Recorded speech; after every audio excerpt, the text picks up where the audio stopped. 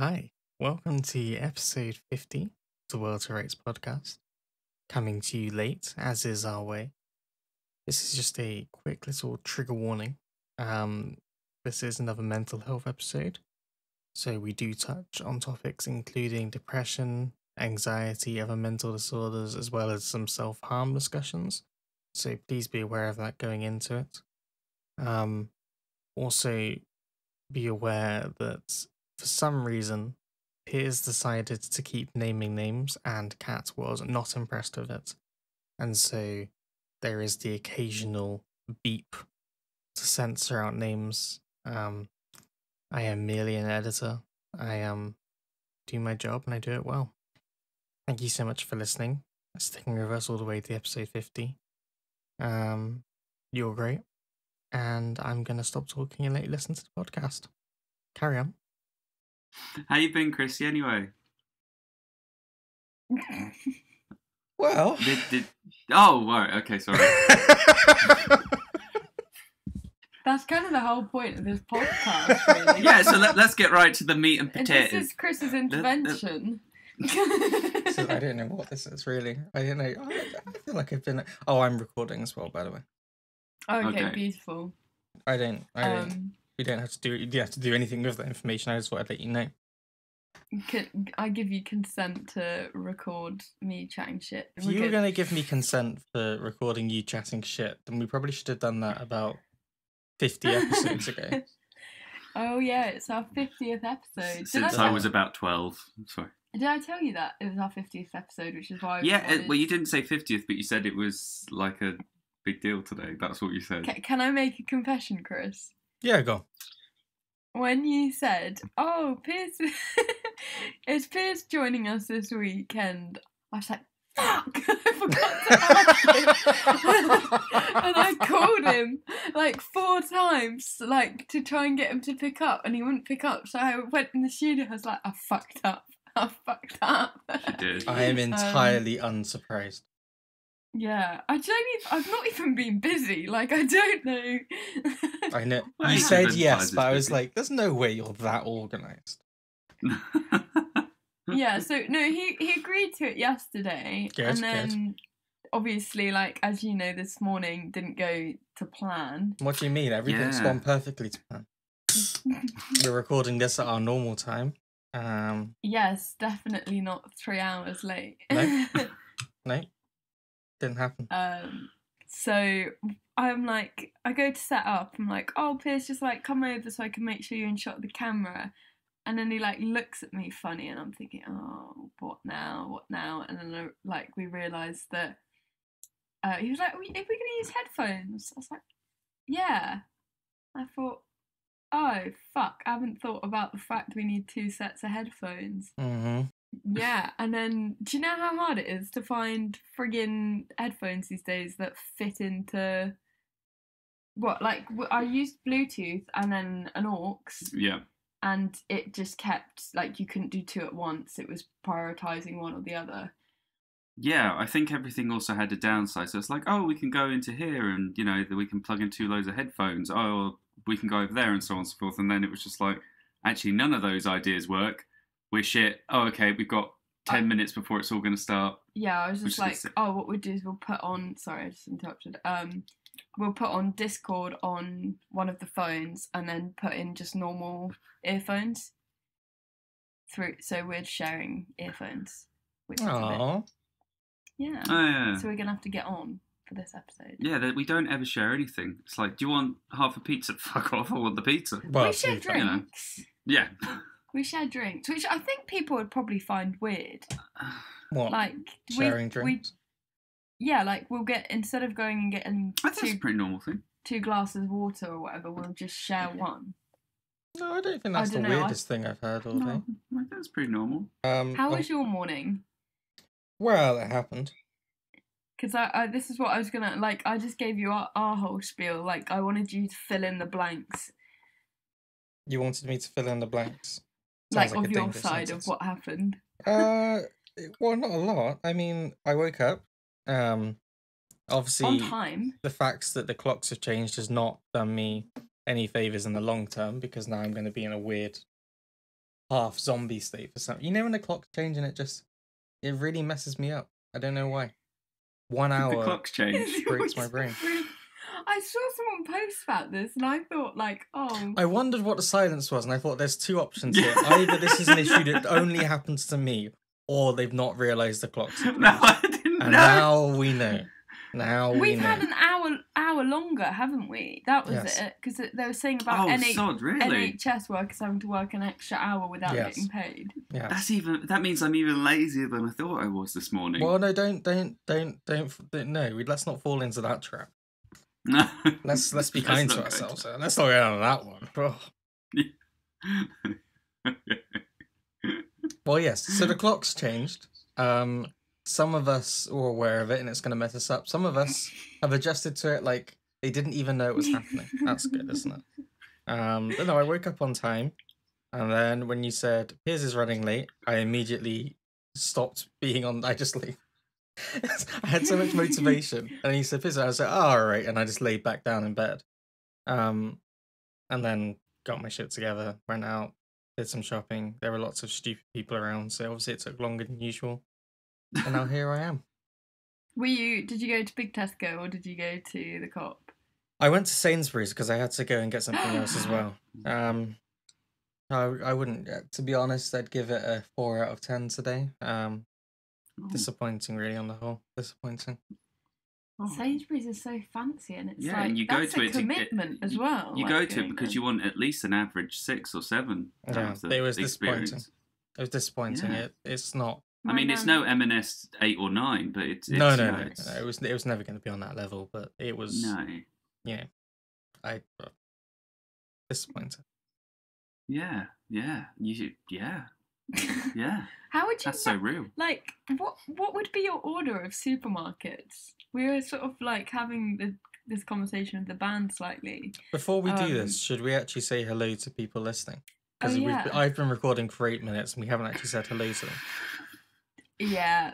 Maybe no Hi, one's listening. If you're listening, Welcome hi. back. If you're not listening, well, you won't know I've even bothered doing that anyway. So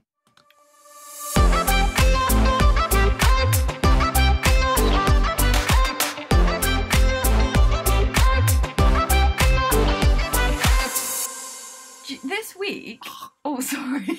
Why did you choke? I just pulled out. No, I went ah, ah. I accidentally caught the wire and, went- and yanked it. um, It wasn't that hard, but it was just like ooh, ooh. you were like "Ah," and choking. I went, ah. um, that's right. It's Oh, going to be yeah. another one of these episodes, everyone.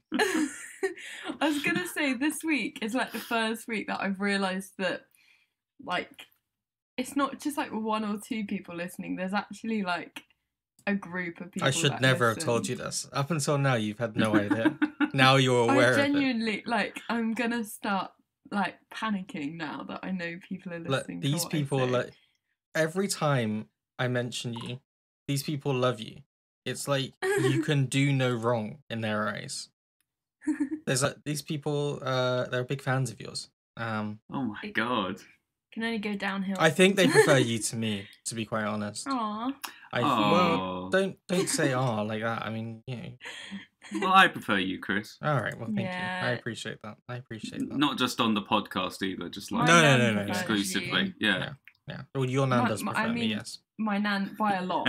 Yeah. By a lot. By she lot, would yeah. have you in a heartbeat. Please. Anyway, we were talking Um, about supermarket things. Um, so I would say that that's not the point of this episode, but we are doing it. Yeah. No. Yeah. Um, yeah. What would I say is my top? Uh, I mean, a top right now. Let's. You know, I'm gonna put Tesco in the top. I'm gonna go. I'm gonna go in top with Okay. Tesco there. Um, Okay. Really? Now, the reason for this is I don't go to lots of the other ones enough, so they kind of fall Mm. down the ranking. So Tesco's up there. Uh, then we'll follow it up with what would I go for next? What would I do? You know what? gonna shock everyone here. Aldi Oh, number two. think Okay. Yeah, Yeah. yeah, yeah. I'm going in. I'm going with Aldi number two.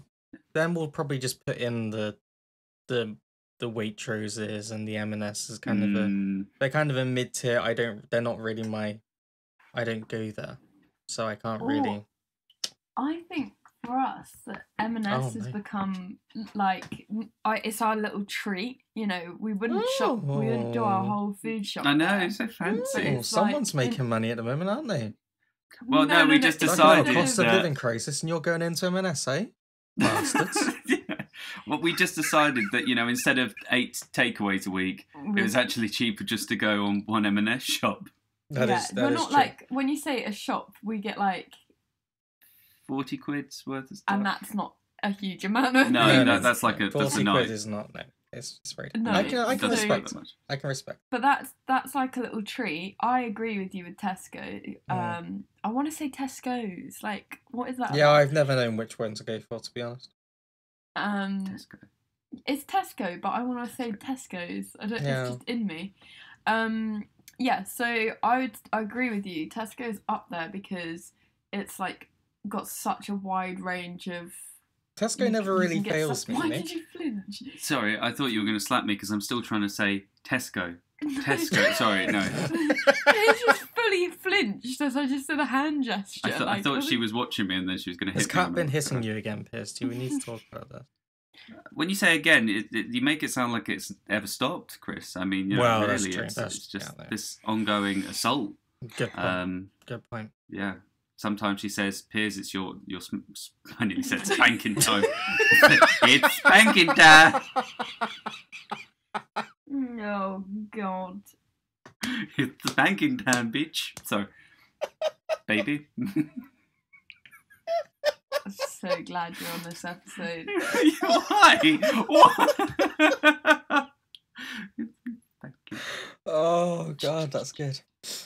Oh, But supermarkets quickly. So yeah, so I'd probably say like M&S then Tesco, but the ones that I actually shop at on a bi-weekly basis is uh are Aldi and Lidl. mm, mhm. Um Mm. rotation. I don't I used to be a hardcore Aldi lover, but um Piers's parents love Lidl and we go food shopping together.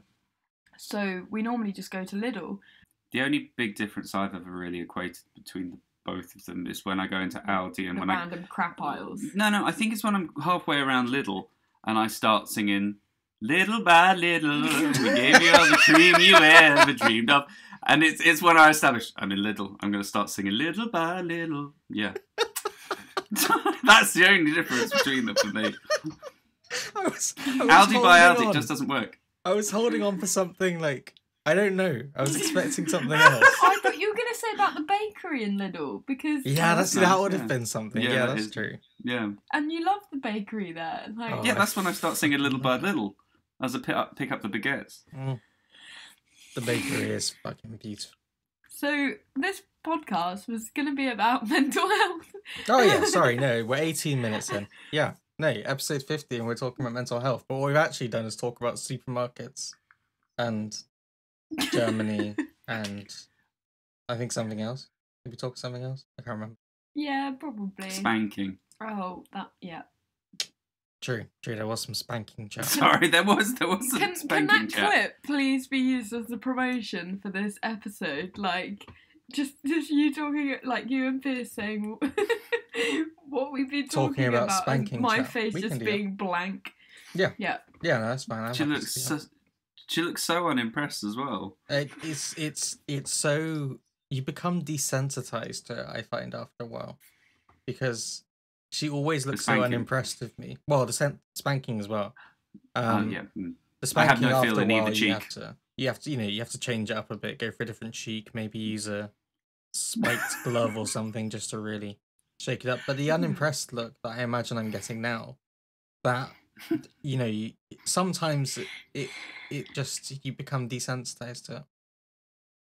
I looked at her face when you said that, and Yeah. she was staring off into the distance, and you could see she was thinking about it. Mm. Mm. There was, the cogs I were going regret around. nothing. I regret nothing. you Anyway, know, Kat, Chris, you when want she to comes introduce at me tonight with the, the when she comes at you with a baseball spike bat, glove tonight, I'm going I- to blame you. Yeah. Well, you say blame me, but it might be fun. Anyway, um, Kat, you Mental wanna- health. You want to explain? Our mental health is all shit. Pierce is doing all right. I'm Yeah. Two fine. two thirds I'm okay right now. are fucked. One third Okay. Look, we spent third, okay. weeks thinking out what to do for episode 50 and was like, we could do something fun, Akiva. And then I was like, but I'm really fucking sad. So why don't we just talk about me being sad again? Um, Yes. and then we could talk about you being sad, and then we could talk about Piers not being sad, and it could counterbalance it. That sounds that sounds great. But hold on, that's two thirds of sadness. I have to make up with one third of sadness. I, You- that's, you that's can a- I do think you, You can, can do do that. I have faith. There I absolutely have faith in you. Oh my god, my like so my much pressure. m- my levels reader can definitely testify that you can make up the both of us. I can make up the both of you. Hi, welcome. It's 21 minutes You- in, and we haven't really started. Kat, tell me Okay. about how you have been. Oh god. I don't know. Like it's, it's difficult. I'm in this weird You have to stop at the- laughing. You have to be serious about this.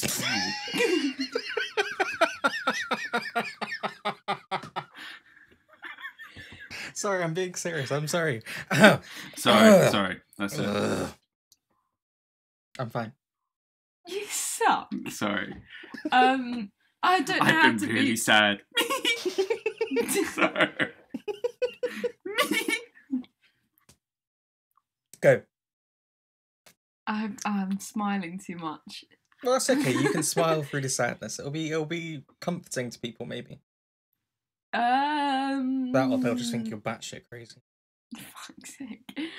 What was I gonna say? Oh yeah, so I'm in this weird place. Can you fucking stop? Sorry, will I, I will. I literally will. I will. That's the last one. pinky That's the last one. Chris, that's something in there for you when you're looking through the footage later. You go, ah, that's what you was doing to me. I'm gonna love it. I'm gonna love it. Who was it who used to say, "Can you just not"? I feel like You. I've adopted this now. You. Yeah, Yeah. me now. You said that for literal years. Okay. Yeah. Or get in a bin. Yeah. Get in a Get bin. in a I bin. used to say that Can you not? I love. Slag, Okay. as you called me by message today. For the first time in what felt like years that I've got slag from you. I was like, oh, all right. Back in the day. I no, I was jealous because you were getting a hot tea. I have been nursing a cold tea for about three hours, Why have you and been I've put doing it in that? the micro.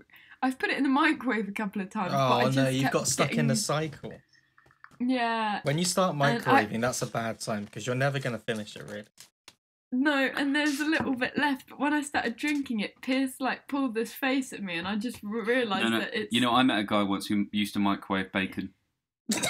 your dad. Raw, raw bacon. Your He used to, no, not my dad. He used to come in and it's like, "You're right, mate. Yeah, how you doing?" And I was like, "Oh, I'm going to put some bacon on. You want the frying pan? No, don't worry. Into the into the microwave." was And you'd look at him and he put it in the roll, and you you just think you you. you Please tell There's me you weren't with this to it. girl.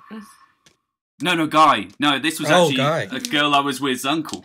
Um, Oh, my God. Guy, yes, yeah, I know, and and so you know you you don't know him that well. You can't say anything. No. Yeah. I was trying to. Yeah, no, I no. wasn't. I wasn't gonna name. That's why I put my hand out. I wasn't gonna. I didn't say anything bad about her. I just said her uncle's Okay. a, a freak. You know, Yeah, well, bacon he's a freak. microwave. You can't be freak. Yeah, microwaving bacon. That's fucking ridiculous.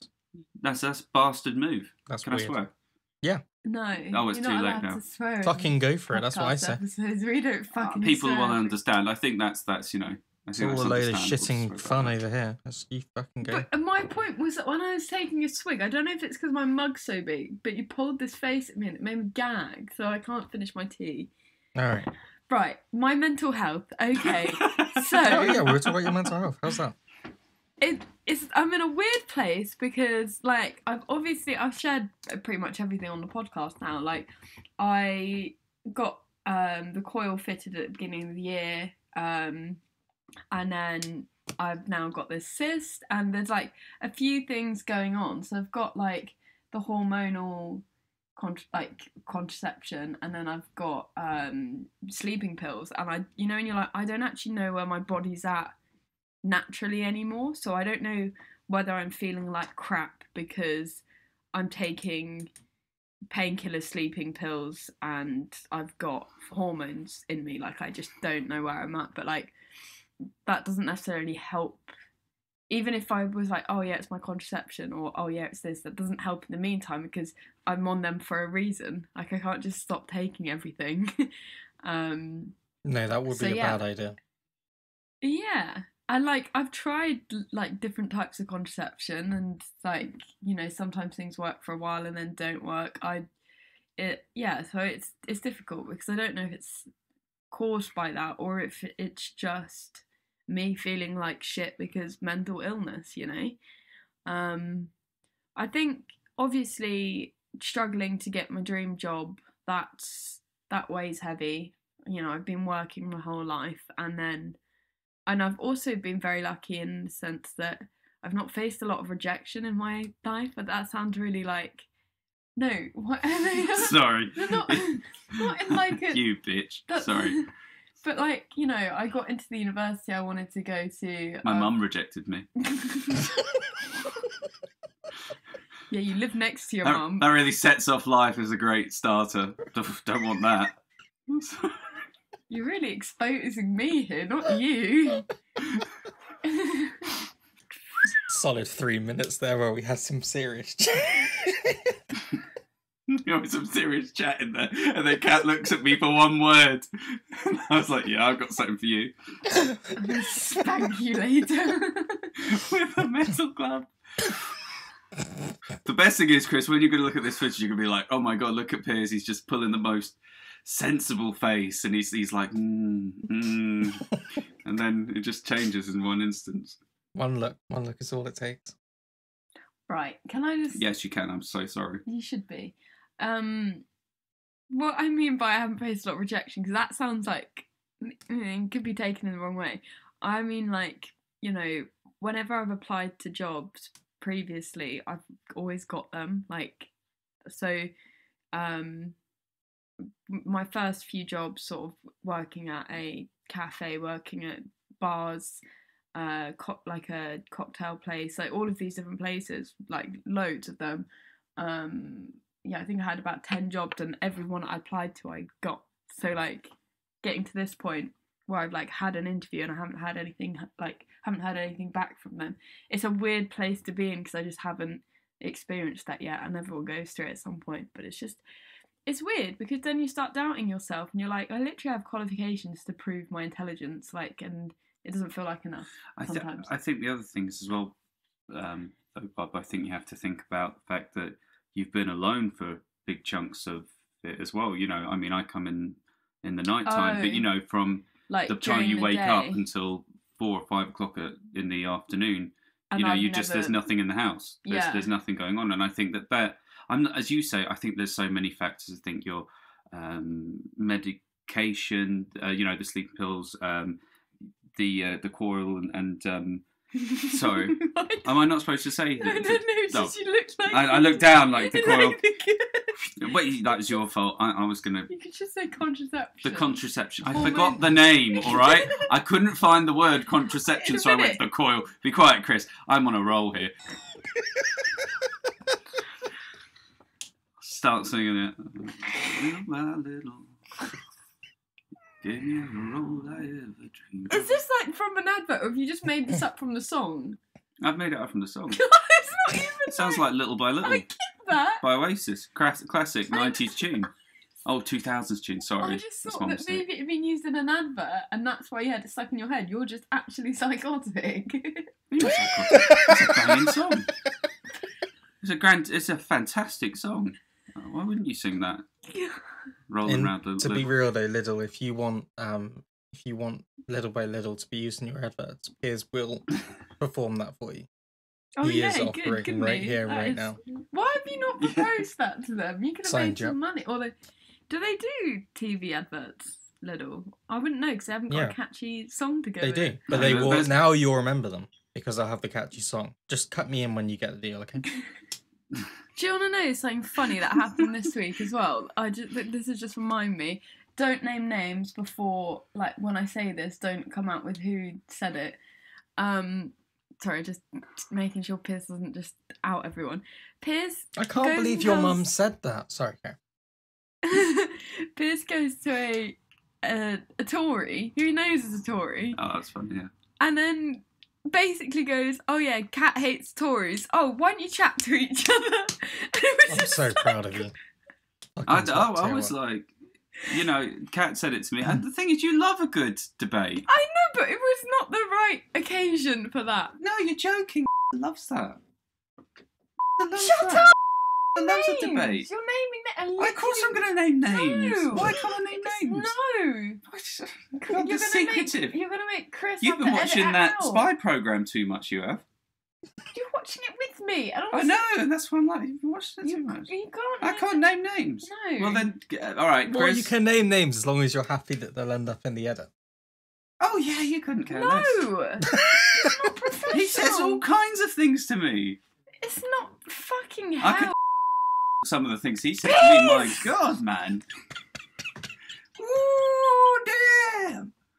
Ooh, that's that's that's not Do you bad. realise these are the foundations your career is going to be based on? Like, Yeah, so I'll, I'll go forward as I as I mean to. You know, you know, Start as start you mean to go on. That's the one. You know.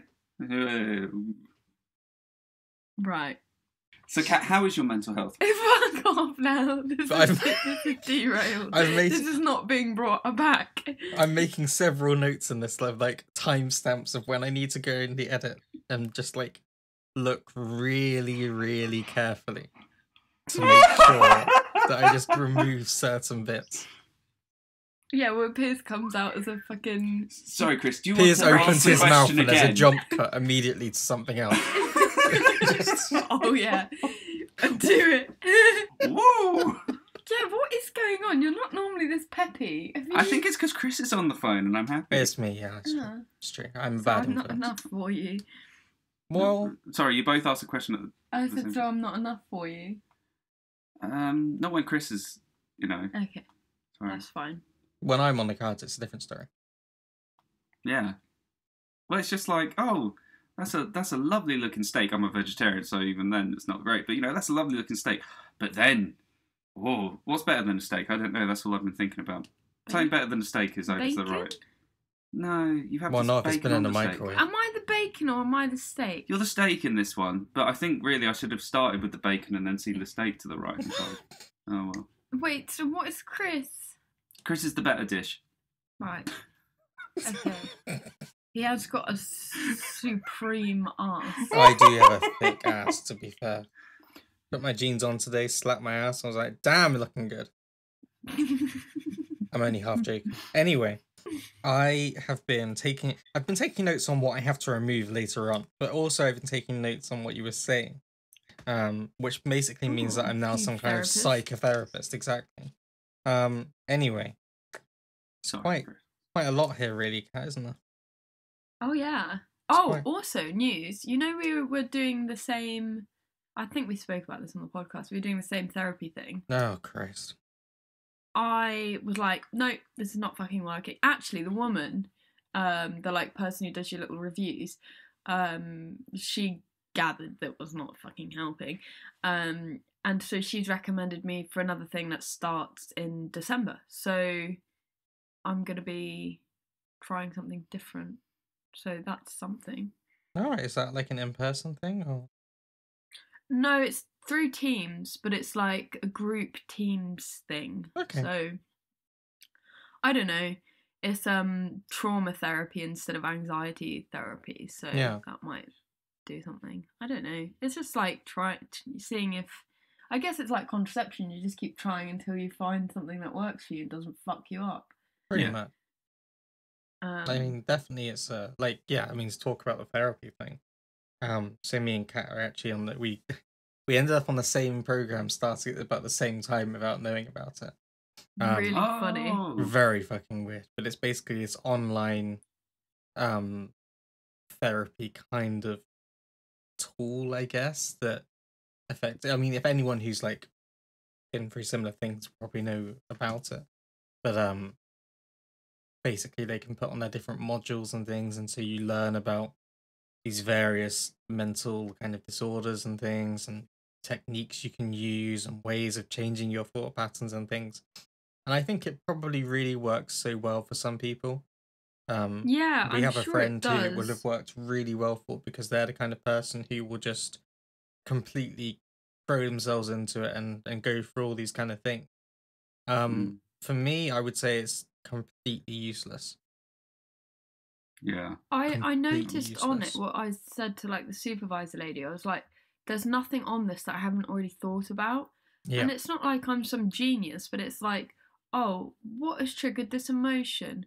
Um, what physical responses is given? Like, it's, like- it's kind of for me. I'm like, well, okay, the thought of dri- being late or the thought of driving somewhere that's what's made me anxious, and then my heart started racing or Mm. you know whatever it is. And like, I think with like a, a psychiatrist or someone who sat in the room with you, they can ask these questions, and the point is that they do a very similar thing to that. You know, they say, "Well, what did that mean to you?" But they wait until they find something that Mm. doesn't sound right, and then they pursue down that Mm. path instead of just asking a load of generalizations. They go for through that, and then they find a path down into the next section, next section. So I think to have something just asking a load of general questions to you. I don't know, just seems so monotonous. And when And you some of it it isn't in- even asking questions. Some of it is like, so this is what happens when you have a panic attack, and it takes you through and say, yes, I'm fully aware of what a panic attack is like. I have That's them. I'm I here." know. Yeah. I don't need reminding of this thing that I'm going through. I need you to tell me how to stop. So I just like yeah, I'm I don't want to revise panic attacks. I want you to help me out stopping them or you know yeah, something like that. Yeah, no, no, absolutely. I think for me, I always found, oh, I say handy. I, I, um, was it the Samaritans? the crisis team wasn't Mm. it? The, The crisis team was great, but I mean, before that, I, I did Oh. try a few steps, you know, to try and they, they always give you those steps, um, in case you're in big trouble. And it was the Mm. Samaritans where you could ring up at any time, was it? Yeah, that sounds right. Yeah. Um, that I think they were a little bit more helpful, just because you know it was nice to have another person on the other line phone. But again, it's something where they will ask you questions and they won't give you your their opinion at any point. No, because they're not allowed Um, to give you a thing. Yeah.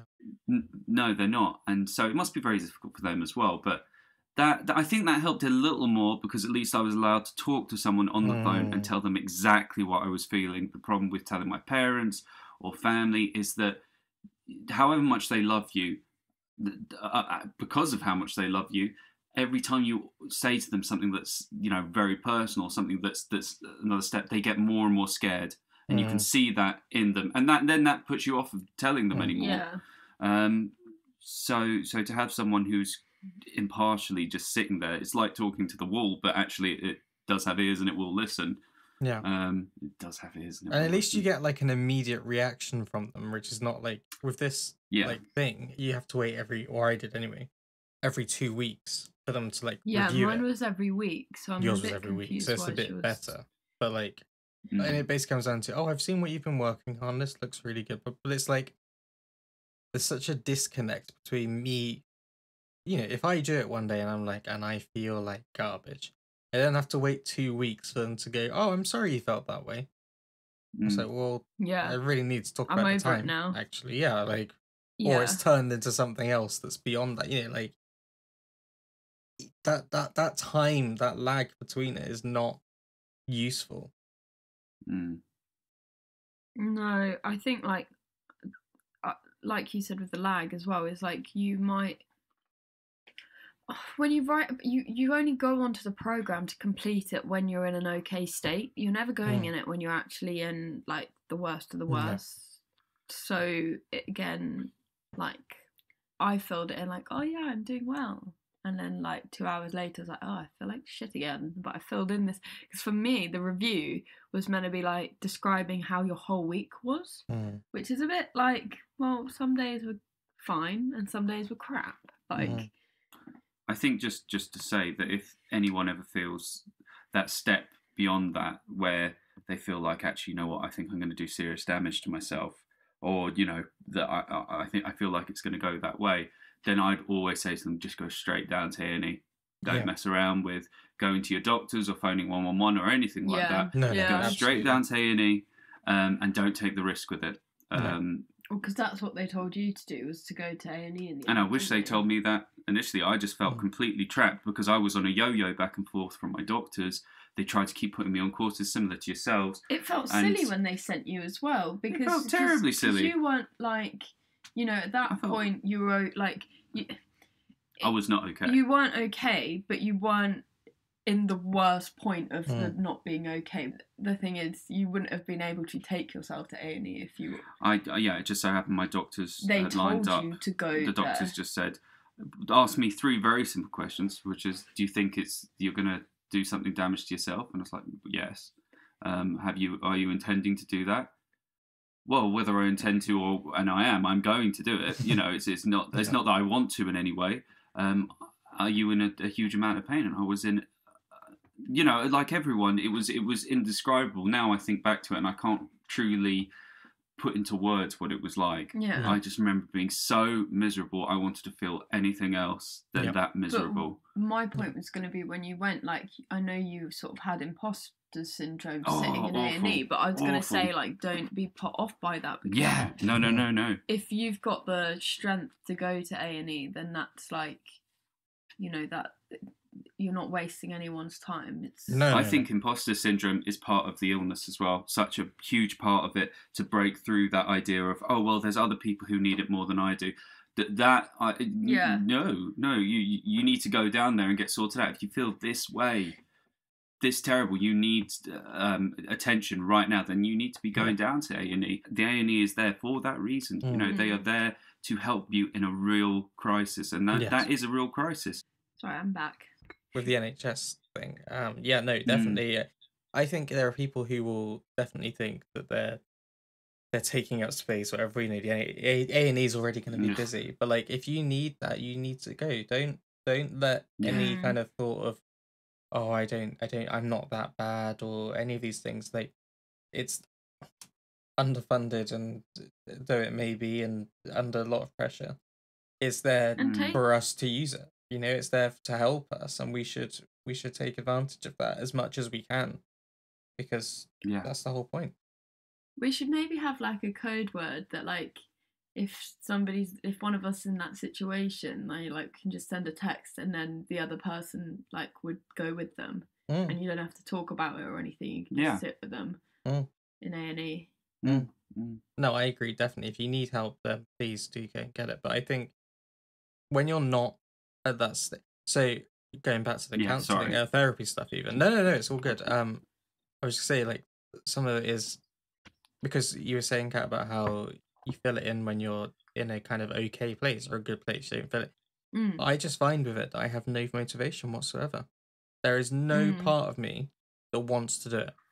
No. No. Literally Yeah. no part of me that even wants to. And it, I have tried. It's so bizarre to me because it when in, in the past when I've gone to therapy in person, I have always managed to find this kind of thing of I'm gonna go, I'm gonna go because at least I'll be able to Yeah. talk to someone. And so like even before when I was when I was at uni and I was having to take a bus to to the therapy, and it was like an hour long bus ride, whatever. And I'm like, I really can't be fucked today.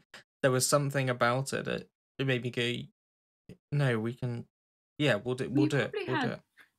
a process, like a little routine where you could um Mm. on the way back just sort of uh dec- decompress. What's the right yeah, word? like, I just get on the bus, like, and it was the start of the bus route as well, so like no one's on it. So I go out to the bus, get like whatever seat I fucking wanted, like put my earphones in, and just kind of like not for like it was just an hour of basically like nothing, just just me sitting there, but like feeling a bit lighter or Mm. Like I've been Yeah. able to talk it. So in some cases you feel quite emotional, but you at least have that time to yourself to kind of yeah. reconcile yourself with it in a house before you have to. people. Exactly. So by the time I got home, I was like, well, okay, I feel a bit more. Even if I went upstairs straight away, and I was just like, oh hey everyone, and went upstairs. Like there was that time between to kind of get on top of it. But uh, no, I don't have any kind of motivation to do it at the moment. I just, I I see it on there and I think I should do it. Have But- you asked them about trying anything else yet? Uh, I put it on my thing my next my next review, two weeks, and I, Really? I just to be like, I think I yeah, because I think it's the thing is that I think I respond better to talking to someone, even if Mm. all they do is Mm. sit and go, yeah, Yeah, with the online thing. So I thought that doing it online would be like, oh, I'd be more motivated to do it because Mm. it's convenient. It's Exactly. at home. I've got the flexibility. It will feel like a university module. Mm. Um, uh, along those lines. And then you're right. It's just I. Oh, I was gonna say I have a feeling that they um might try and push people towards doing that first Mm. because it will be financial like financially mm. uh efficient i don't know Mm. what the right word is it like, is from a cost try point of view. This is obviously better for them because it doesn't It's take like up time of seeing people. people. You know, exactly. it you can just Yeah. put them on this thing and say, "Oh, you do it in your own time." You only you know you could have one person that's looking after several 50 people Like it doesn't matter. Yeah. It it definitely is a yeah. say you have like seven people a day, you Mm. know, that means that 35 people a week they can be Mm. looking after, Mm. Which you wouldn't get if you were doing in person things for sure.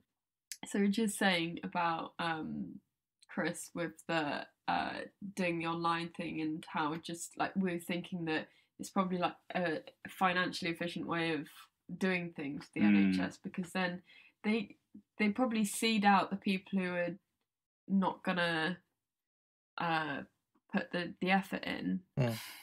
which is Well, I totally think it's- fucked because I, like th- I think the problem is is for the. I can't imagine the percentage of people if you were to ask them, does it help? I can't imagine what percentage that would be. I, I, I for me personally, I agree with Chris. I when I'm sad and when I was low, the last thing I was going to ever do was fill out some fucking form. Mm. That was never going to happen. then I And when I felt good, I didn't want to fill out a form. No, I was like, "Wow, And I even did when I this, I felt- feel good." Yeah. And then in between was like, I can't be bothered. but I know So certain it's any- people that any that part. would really help with. So Yeah, it, no, no, of course. just and obviously that's yeah the cheaper way. It's a I good think it's like- first line of like being able to do it, but the thing that Yeah. worries me a bit is that there are people who will feel like I do, and they'll start doing it and be like, oh, "This is a fucking waste of time," and then they'll just kind Yeah. of like fall off the radar. Like Yeah. they won't Well, I get almost picked just up for didn't things. bother.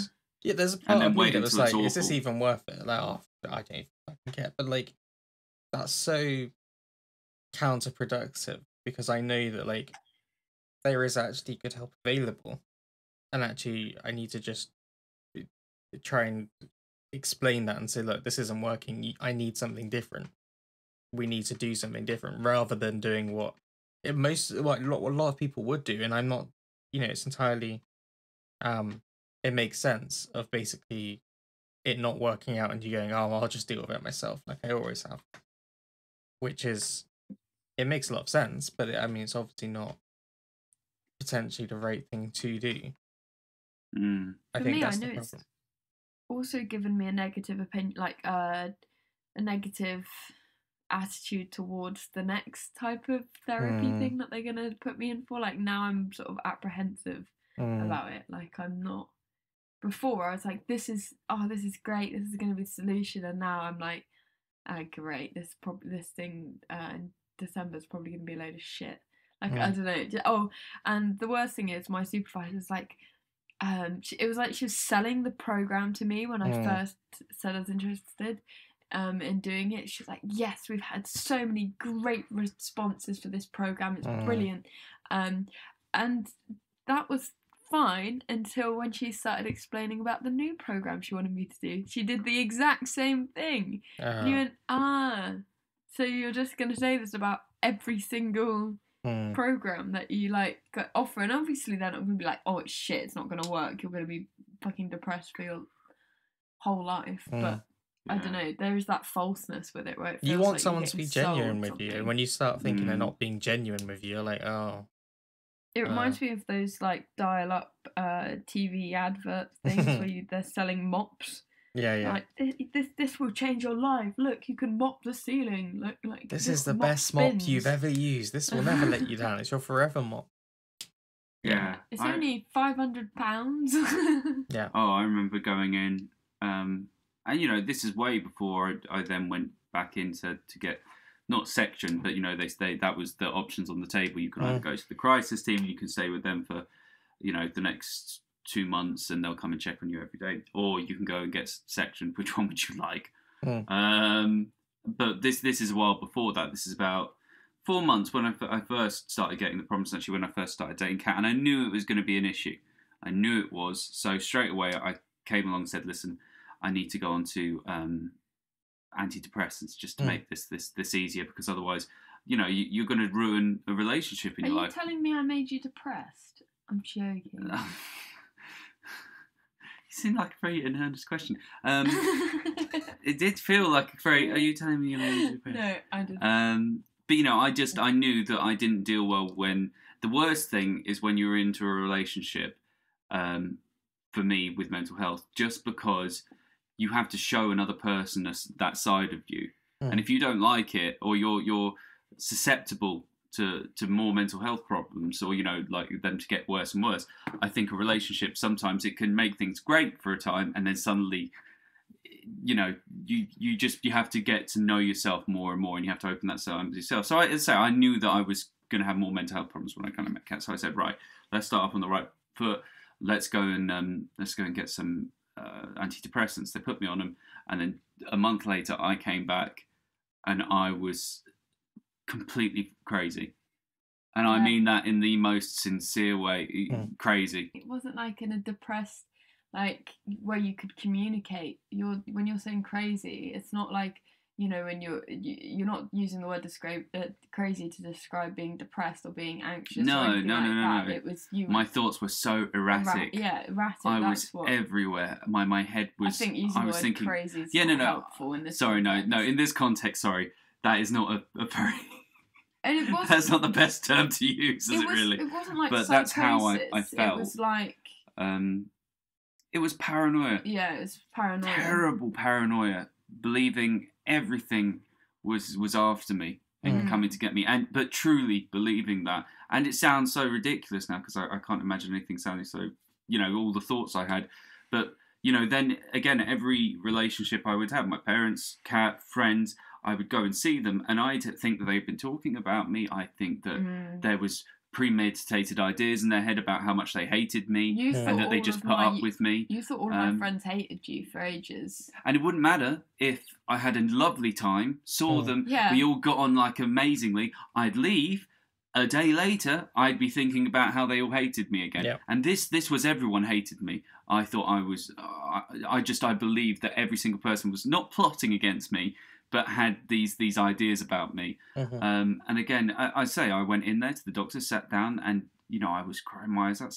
I told him all of this, said how, and it was very clear at that point. I think um, when I opened up how how you know how much of a difficult situation I was in, and he literally just upped the dosage and sent me out the room.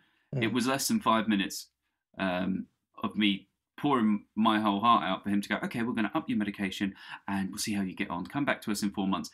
Four months later, I was even worse.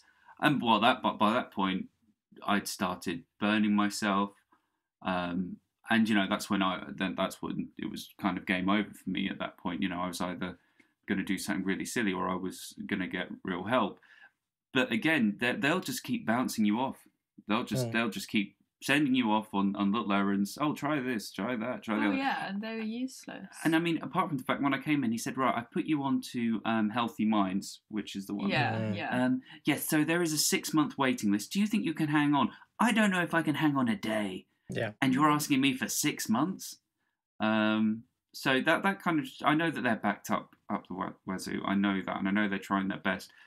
But there are some people out there who it doesn't need to get to the stage where they they uh, you know re- they've tried to commit suicide, or it doesn't need to get to that stage sometimes. I Yeah. think like medication reviews are. I, well, the thing Yeah. that frustrates me so Mm. much is that there is a genetic test that you, you like spit into a fucking tube and it shows you what drugs that you are are going to be highly like reactive to Mm. um be, due to like its enzyme I, I can't remember what it was but yeah, like there's a when I got percentage my test of what will work with your. yeah, so when I got my DNA test, uh, just like heritage DNA test, and I had my health thing in it as well, it said um, that I had was it like a low low response with drugs like sertraline, something like that. So I went on sertraline for a while to try and help with sleep and stuff. Didn't I I did not notice anything on it. Whereas for Piers, you, that like was your gold dust I for know. Mm. long time. I remember telling this guy that he put me on to citalopram. which Um, is one of the drugs listed as being like one that can flip you like either way it can either help you some people love citalopram like we've got a friend who's on it Yeah. who does very well on it um well like assuming it from what they've said they're Yeah. well No. on No. The, yeah. um but then that was your kryptonite like, but for me, that was- yeah. sertraline was the greatest thing in the world. I that was the thing that I was stuck on for, ages, and it just worked for me. A just very small dosage. But I told this guy, the doctor, listen, I've been on sertraline prior, sorted me right out. I was absolutely fine.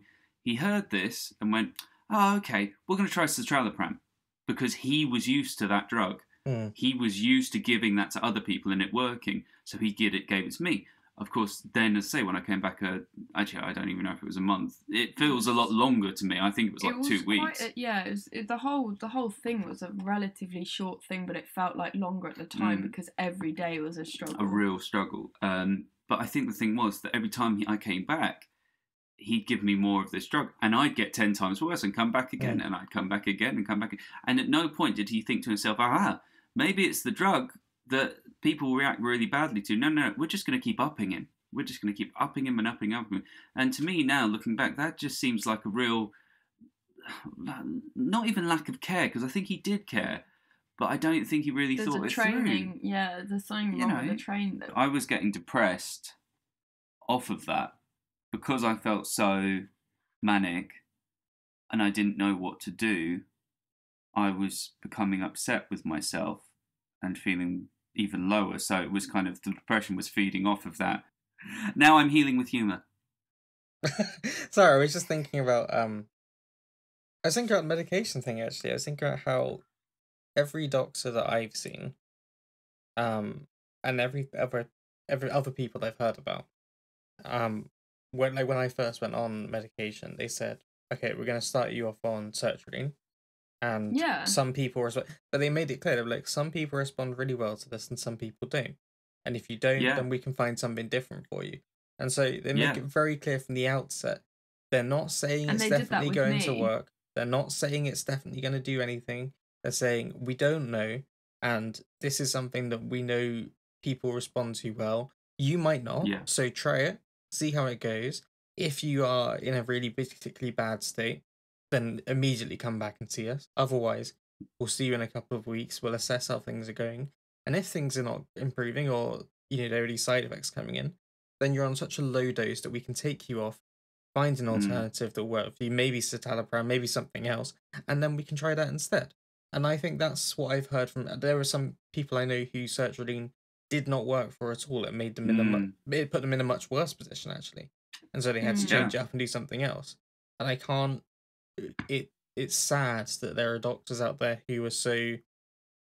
I don't know. Um, who would go in with yeah who would go in with the Yeah. idea of oh well here's this citalopram and this will this will fix it and every time you go back and saying no it's not they're going oh you just need more of it it's like Mm. that's such a ridiculous way to approach it that i can't believe most doctors would do that that that's just I, crazy I- And, sorry. uh, oh, you can go. Uh, yeah, no, I, I completely agree, Chris. Especially because I was saying, I, I, he was saying to me, "Well, I, I just don't think it's kicked in yet. I think you need more of it." All I knew was that I was getting worse every day as it went along. So I thought that I was getting worse. I thought that my head was getting worse and worse, and that actually the antidepressants were trying that, you know, were working against that and trying the hardest. So I felt even more depressed. I thought, oh Mm. my God, if this high amount of antidepressants is not doing anything and I'm just getting worse every single day, Mm. then uh, surely I'm I'm a hopeless case. Surely there is no way through for me here. Um, and then, as I say, I went to the crisis team. A few doctors there who who work on this kind of stuff all the time. Within two seconds, they said, "What are you on?" I said, "Citalopram." They said, "Right, okay, we're going to take you straight off of that. We're going to put you on sertraline." And within two weeks, I was fine. Um, and you know what? I, that's a miracle case for a lot of people. I'm so grateful that it was that straightforward for me. Really, Mm. really grateful. But there's a lot of people out there where that's not the case. Well, you know, they, they do go um, and have have medication and change it and change it and change it, and they never find that. Mm. Um, so I was very grateful. But again, this this guy, just because he, again, it wasn't like he didn't care. It, it was just like he didn't think of it. But No. because he just kept doing it to me, he, and and you know, I was almost like a guinea pig of of just oh, let's do it again, let's do it again. He he could have killed me, you Mm. know, and he really could have done. And again, I don't think he was a bad guy. I just think he didn't think about it, you know. Yeah. Um, but that's I, I think that's the most important thing. You are when you're talking to people, though, that's the person you are at kind of the mercy of. That's the the the the guy in front of the, the bouncer in front of the door, if you know what Mm. I mean. You have to appeal to them to let you you in to a lot of these things and get you help. Yeah. Um, so it really it does depend a lot of the time. Some people, sometimes some, there are some doctors out there who just will pop you off really, especially if like me, you you you you try and hide everything. You try and make it sound not as bad as it is, you know, Yeah. to everyone. So when you go to the doctor, you're still doing the same thing. You're still going, "Oh yeah, um, yeah. Well, actually, I'm I'm very depressed," and Yeah. you've got a smile on your face. And that's what I do. I try and make a joke out of it. I would Yeah. find it very difficult to say it outright in a sensible way. So, um, you okay? Sorry, I keep looking at your face. You really got to the displeasure. Um, so I would try and hide. I couldn't say anything seriously, so, so I was always kind of laughing, and they took that as, you know, me me not being that bad. Mm. So um, yeah, it's, it's I think it's every doctor, but then there's been some doctors I've had who have been amazing. Yeah. Straight away off the boat, we'll turn around and go, "You're, you know, like the psychiatrist I had in the crisis team." She said, "So, I can tell that you um, hide a lot of your your problems and pain behind humour, um, or an attempt at humour. Yeah. she said, "Oh, that cut me so deeply." When she said uh, attempt at humour, but she she she got the weight of me. She knew Mm. straight away that I I wasn't right, um, and she she was really helpful to me. All and all it took was that one person that I met, where it changed everything for me. Yeah. Um, so you know, I, I guess I got lucky on that scheme, but yeah, And I've had people who have said to me, like, in the past, I think I've mentioned it, like, they've been at work and they eat all kinds of places where people have gone, oh, you you seem so well put together, you know, you seem so on top of things. I didn't, I didn't possibly Yeah. think you could be, and I was like, yes, well, that's because I've become particularly good at masking it because I'm trying to just get through the, like, I'm, I'm, I just trying to get through a day and the only way i know how to do that is to effectively go in and and be sarcastic and make jokes out of things and, and Mm. you know make these things and make it into a make it into a joke that i'm the depressing guy in the corner rather than actually admit that's actually the reality and it's it's a pretty fucking dark place because i just can't quite you know face that really and i don't really want i think i get myself sometimes into the mindset of thinking oh i just can't i can't be bothered to explain to someone the like intricacies of why i'm not feeling good on a particular day. And so if they ask me oh Yeah. yeah you okay? I'm like yeah fine. Because i really just can't be bothered to keep explaining it because either you know i i don't have the motivation or i have already Sometimes told them before. well. sometimes you don't know. Sometimes you you've told people so many which is times that you um you become reluctant to keep saying it because in your brain you're thinking they're gonna think I'm just a broken record. They're gonna think I'm just Mm. saying this thing, re- and they'll you know they'll start questioning it. Why you know why are you not getting any better? So you, s- lots of it is you get in your own head about how they'll react before you've said it, and so you just don't and whatever. But um, it definitely there have been people who have gone, oh you know you seem so on top of it. And I had one doctor who I saw for a medication review who basically, I think I mentioned it before, and I I forget more of it because I think part of my brain just tries to suppress the thought of it because it was so not a good experience. Um, but I it was back at uni and I I went in and I explained, you know, this is this is what's going on and and this is why and his whole approach seems to be okay, but when are you coming off the medication? When are you when are you gonna stop taking it? I was like, well, Yeah. I don't I don't know. Like when you know, when when I'm ready, when I'm ready. So yeah, you know, well most people are normally on it for six months and you've been on it for however long you've been on it at the take time. like six months to settle in. Yeah, so it was like however bit- long I've been. I maybe I've been up for like six, seven months at the time. So yeah, most people normally come off, um, and feel better about now. And so I came away from it thinking, oh, so I, I'm not. I must be a problem then. It must be a me problem because other people are doing fine after six months. So why am I not doing fine?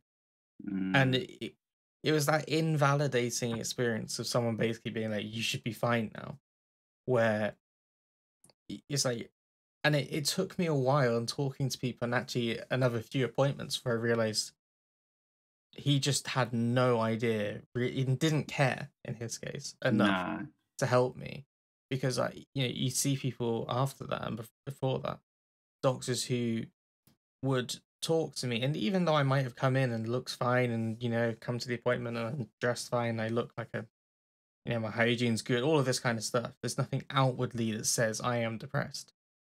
They've been able to kind of No. see through it and and actually understand that there's something there even if they're not quite sure what they understand there's something here and you know we we can help you with it and and it it just makes such a difference i think there are a lot of good people in in Mm. healthcare and on like front line of these things and there are some very very shit people and very like either maliciously or through some kind of misguided belief in something like with the citalopram thing who who are just so Yeah. convinced that that's what they should do and i think it really you have to you do sometimes have to you have to challenge them a bit actually and if they start Mm. Going down a line of making it seem like you know you- like, you have to and it's difficult because you trust these people but you have to say well actually i don't think you're right actually this is wrong and it's sometimes it's and it's very difficult to do that in, in that moment you know when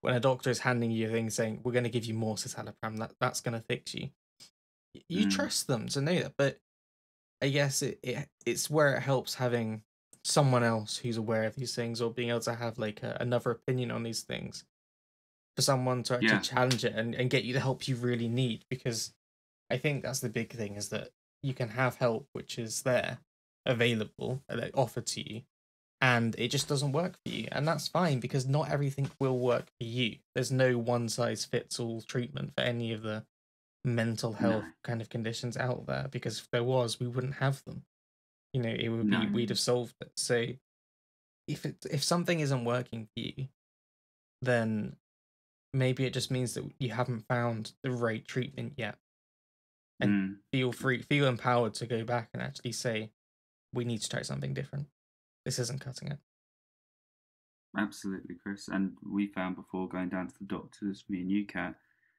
that you said to me previously you've gone to the doctors and had a lot more issues with getting them to listen. Oh yeah, to they you. don't listen when it's just me. They, No. I have to take Piers with me, and it will be stuff like about my insomnia or like contraception. What I was gonna say earlier, um, it reminded me of um, going to the doctors and saying, "Oh, with the coil thing, you know, they'd recommended that to try and sort out my periods because I was having Mm. really bad period pains and um, like just issues in that sense." And um, they were like, "Oh." you know, we have a lot of positive reviews with the coil because it can often stop people having periods for a certain amount of time. Um, and I remember saying, "Oh, this contraception's hormonal. I was gonna avoid hormonal contraception because um, I've had problems with my hormones from having the implant." So, and sh- I was like, do you, "Do you know, like, do people tend to do okay on this with the hormones and stuff?" And she was like, "Oh, well, personally, um, I've I've never experienced any like uh hormone issues like she was saying that she had the coil herself and she she basically said that she's never experienced mental health issues or hormone, hormone imbalance or was- like she was talking about herself and she was like yeah I don't really understand. It's not my expertise so I'd probably recommend chatting to another doctor about that. Mm. I remember being a bit like oh um South African doctor very blunt um nice but just like obviously that's not the area that you I'd go to chat to her about Sorry, I'm She was- remembering I saw she her before she once was the one that went, had was funny with Piers as well when I came down there. and yeah, I think it was like the second or third time I burnt myself, and this one was bad. And um, I walked in, and I sat Why down, would you do that? and I sat down. She said, "Why are you here?" And I said, "I've, I've really burnt myself." And I pulled off the thing, and she looked at it, and I, I don't know why did you do that. And I just sat there. I was like, "Well, I don't know really." Oh, you're question. silly. And I was like, "Oh, oh, I'm silly. Oh, and like silly me. she's very nice. And when I say like, oh, she's South African, my like, you know, a lot of my family for people like obviously Chris knows, but a lot of my family is South African, and there's just this like really blunt quality, which comes with being South African, I think. And she just she has that, and it's like mental health, like mental illnesses just don't exist. Mm. I don't know. And so when I'd said about the like contraception thing, she's like, "Well, I don't know about that. I wasn't gonna wait a month to then go and speak to another doctor to then Longer decide." sometimes. Well, yeah, it's it's been about two month wait, like month and a half wait. Um, so I was just like, okay, like I'll get it, and then I guess if it fucks me up, then I'll get it out. Um, which is now what I'm looking at doing. So that The, went well. the funny thing is, though, when we then went along, and I was there as well when we went to the doctor to talk about this. Um, do you remember you walked in through the door with that doctor? Oh, the male doctor. The male doctor. Oh yeah. and that, as she oh, walks in through the door, that was he goes, bad. "Oh, hello, Katrina," and then No, you didn't know my Oh name, no! did they? No. Yeah, well, he said Katrina, and Oh, then yeah, he went, "Oh, he hello." Yeah, and you walked in, and then I was behind you. You went to close the door on me, and I said, "Oh, sorry, I'm coming in as well." You've never seen look, someone look so angry. miserable and so angry that I was going to be there. He Why? honestly then got a grump on because he felt like he was kind of being cornered.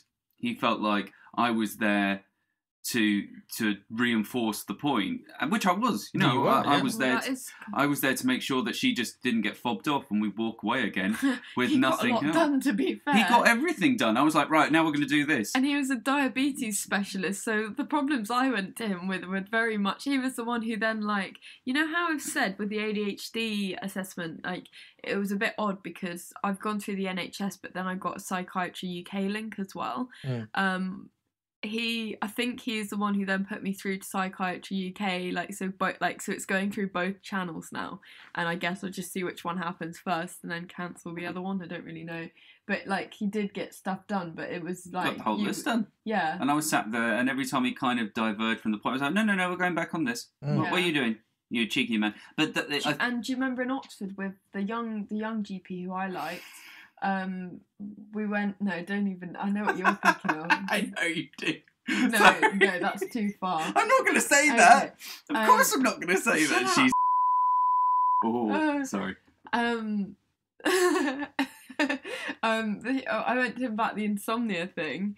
I just uh, and you were like, she doesn't sleep. Because he was, Yeah, he she does said not sleep. he was sort of trying to be like, oh, okay. Oh, you you're sure you've not had a young, you're at rough night? Yeah. Oh, yep.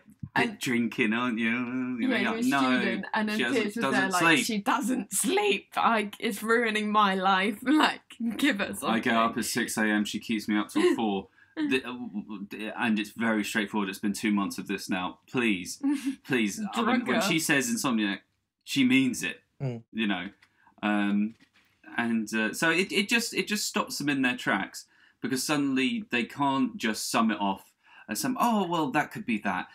Let's on to the next thing. Um, they they have someone in the room goes no. This is and, and there's someone who's around you, yeah. someone who can testify Mm. to it. And I, I think for anyone who's got someone that they're open with, and not not just like open with and you know feel nerves for it, but to have some another person that you can take into the doctors with you, who can get your point across. It's much easier doing it for someone else than it is for yourself in Mm. those situations.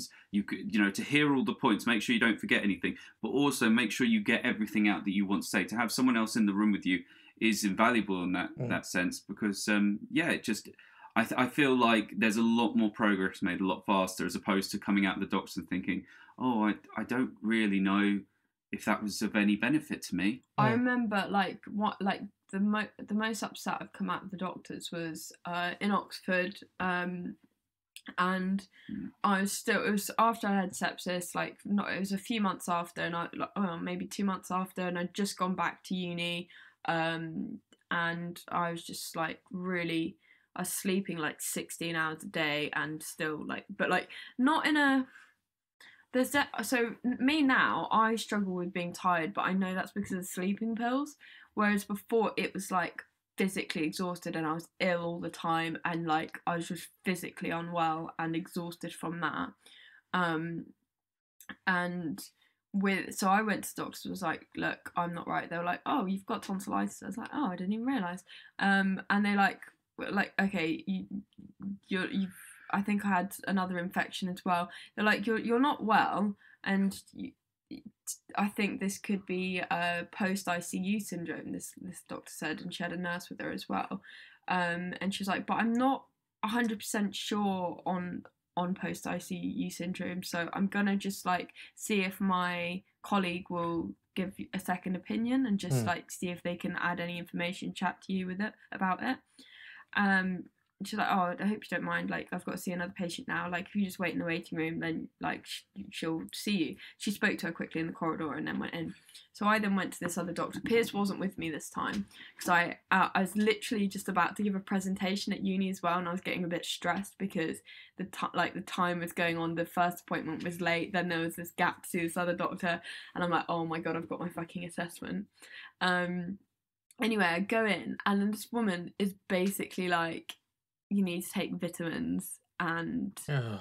drink water. And like that was, I just went from Do you run? it was pretty like it was pretty much like no yeah no th- there was nothing Oh, awful. and i came out and I just burst into tears and then i had my assessment um and then this was just before well this was as covid hit and Mm. then my one of my lecturers then started fucking having a go at everyone, saying that we were all spreading this new disease called COVID and that we were awful people because our students were killing old people and we have no consideration for Absolutely. anyone but ourselves. And I- it, she was saying about, oh, none of you are high risk, so you would know, and all this. And then the doctors had literally just said, like, oh, yeah, you've got to be careful now because of COVID and you, like, just had sepsis. And I just, that whole day, I was then afterwards, I was like, I'm Mhm. going to die. No one cares. Well, it, it goes to demonstrate to you really that if you don't push for it, and um, you know, uh, not even if you don't push for it, even if you do push for it, to get them sometimes to do something is a real hard task. When Kat came back and she had had sepsis, just had sepsis, and they said the first thing you need to do when you get back to Oh, England, get a you need to go and get a scan. Oh, I was going to go straight to A and E. Yeah, you need to go straight to A&E, and you it's pretty much like you need to check straight in, you know, like life or death kind of stuff. Yeah. We went to the we doctors. got an emergency GP appointment because the thing was, I was like, what, what good is going to be sitting in A and E for like eight hours Mm. with a bunch of other sick people? Like that's just going to be more dangerous, in my opinion. So we was like, we'll get an emergency appointment at the GP. I'll go there uh, first thing in the morning. And then see what they suggest because they might tell me to go to hospital or whatever. But at least, like, I've just cut out that step. And yeah, I didn't But the thing was, it was a South African she went, doctor. yeah, South enough. Africa. Shit's given when we walked no, in she was very. She was like, "Oh, you're the girl from Germany." oh, you're the girl from Germany. we, oh, we okay. all know about you. So we all know about you. We've heard how bad it's been for you. Okay, so we're going to do pretty much nothing. Oh, they Uh, said, go home and They uh, said, keep "Oh, well. what drugs are you on?" And I, I had this really high dose of amoxicillin. And they were like, "We don't prescribe that over the, uh, over here, um, such high dose." They were like, "Oh, that's the good stuff." But like, I think she gave me some anti-nausea, extra anti-nausea tablets, and like, I was meant to have a kidney scan and other other things, but like, none of this happened. She'd just come out of the hospital in Germany, and they really didn't they want to didn't let wanna her out. but it was just really they didn't want to that let her out. So that, I'd say, even with something as, you know, as dangerous as that, Mhm. um, you know, we see the signs everywhere now for sepsis. It was Mm. Still all the ambulances. Oh, like even with someone like that, me someone who has definitely had it, someone who you know nearly died of it, they took us back over here as soon as we went into the NHS. Oh, okay. We couldn't even get anything moving on that. So mental health, God knows how hard that was. Mhm. I do know how hard that is. We all Mm. do, but you know that that's even harder to do. So if we couldn't get that going, Mm. you know, so Mhm. it just goes to speak really that sometimes the doctors, sometimes you'll meet a great doctor and they'll take you, and then they'll, they'll, they'll be taking care of you and there's a general care. But a lot will just try and fob off and kind of, uh, you know, kind of keep you moving on the conveyor belt line. So it is important for every single person to make sure They're that either it- an advocate for themselves or they have somebody who's Yeah. going to Mm. be. and make yeah. sure that there's progress every time, or you feel that there's something that's moving in a direction, not just oh, I don't really know what happened in that meeting. Mm. Um, okay, I'll just see how it goes. That's not the answer. You want to make sure that there's some progress made. and I think people happens. can like think that they're being um confrontational or something. But it's like, no, y- obviously there's a way that you do these things. You don't go and go, you're a fucking bastard, and like Yeah. start hurling abuse at them. But No. you no, have no, to, yeah, you, you can stand your ground in a way that's respectful. But it's Mm. like, well, I personally don't think that's the right course of action, and uh, you know, you can challenge Mm. them on it in a way that is respectful, but also yeah. standing up for what you actually need. Because, eh, like, if if you can, uh, what am I trying to say? If if they can find something which is able to fix your problem or seems to fix your problem quickly, most people will Mm. take that option just as a kind of it's like Mm. doing a job or something. If if there's a faster way to do something that gives the same result, you're like, oh, we'll do that then. Fuck the fuck the other way. So people, but you have to be able to say no. Actually, it's not Yeah. just that you know I'm not sleeping a little bit right now. It's I haven't been able to sleep properly for a long time, and it's causing me real issues, and it's causing my partner real issues. And Yeah. we we need to do something about. I I really think that's yeah. Be an advocate for yourself, or, or have someone who can be in that situation. But then that's a privileged advocate situation as well because that that requires me like I I didn't have that until I was in a relationship with Piers. So you know, like I I'm not going to take my dad. I'm like, am I? I'm not going to be like, hi, dad. Can you go and talk to the doctor about my But if you Some people needed me to come with you to the doctors and do it, I would. I would happily do that for you. It's like obviously Yeah. not Mm. feasible all the time because of where Yeah. we are in life. But and if you yeah, needed it, I would find a way of trying to make that work because it's like yeah, I I know that how important that would be, and I know you know. I know you, I'd and I the know that if you say you need help, I know that you need help. I I don't yeah, for a second think that it's anything other than a genuine need. Um, yeah. Yeah. so I one hundred percent think it's the thing. I was gonna change topic entirely, Hmm. semi How dare entirely. you? Well, I was gonna talk about something that I've been thinking because I was thinking about the message I sent you the other week. Um, the voice message I sent you, I should say. Oh yeah. Um, so I and it's I actually sent one in my Discord as well. Actually, after I sent you a message. Basically, it got to a couple of weeks ago. Um, and it was the day that I think it was the day that Liz Truss resigned. Oh yeah. I think it was almost certainly that day. And I something just I was just angry. I was Yeah. so angry at so many things. Like everything had come to a head because I'm someone who I I don't think I'm like a doom scroller necessarily, but I do want to know what's going on in the world.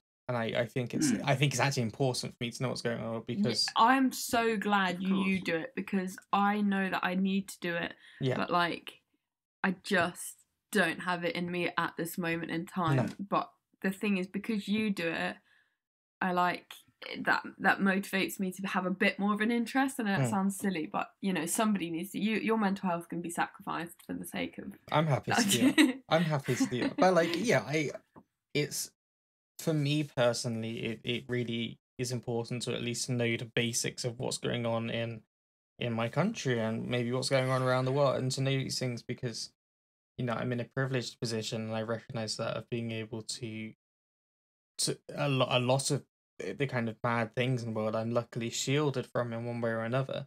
But actually I think that that's not a reason to turn away and go, well, everything's fine because I'm okay.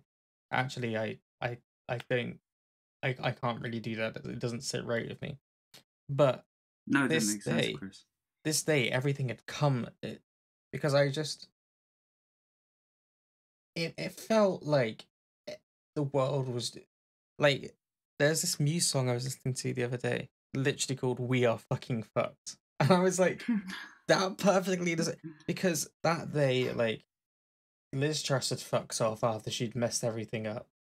Like and you were seeing these stories about people who couldn't afford people who were on like nurses in the NHS for example who were like So should be on a wage that can support- exactly. Yeah. working so hard doing this thing explaining how they've had to go to a food bank they've had to cut down on the electricity they're using and the heat they're using. Thinking about the fact that some people are literally going to not be able to afford to heat their homes this year there was this really th- the thing I read the other day that was like some people have already planned that they'll turn on the heat for a little bit on Christmas Day as a bit of a treat.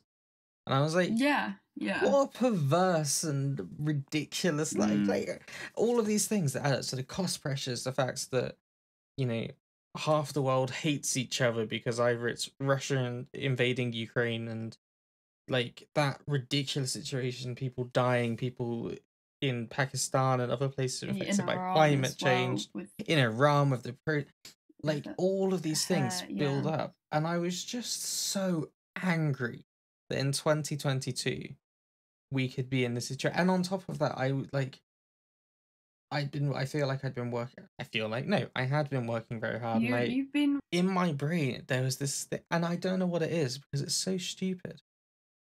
I, I well it's not stupid i think it's bound up with other things there was this feeling of oh i need to do this because otherwise people will think i can't do my job. And it became like this I've, uh, it's almost like a manic almost this week almost of like being so convinced that i need to to get this thing done.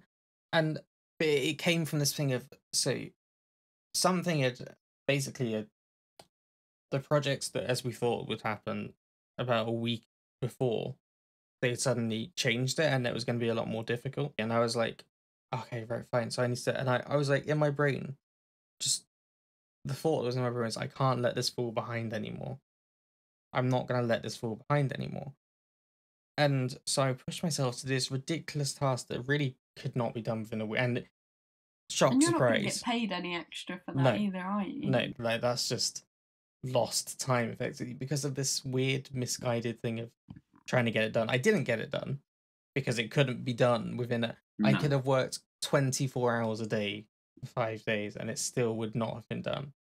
Um No. there's just no way because it was it's too and it, I mean it got pretty damn close. I mean, great, but mm.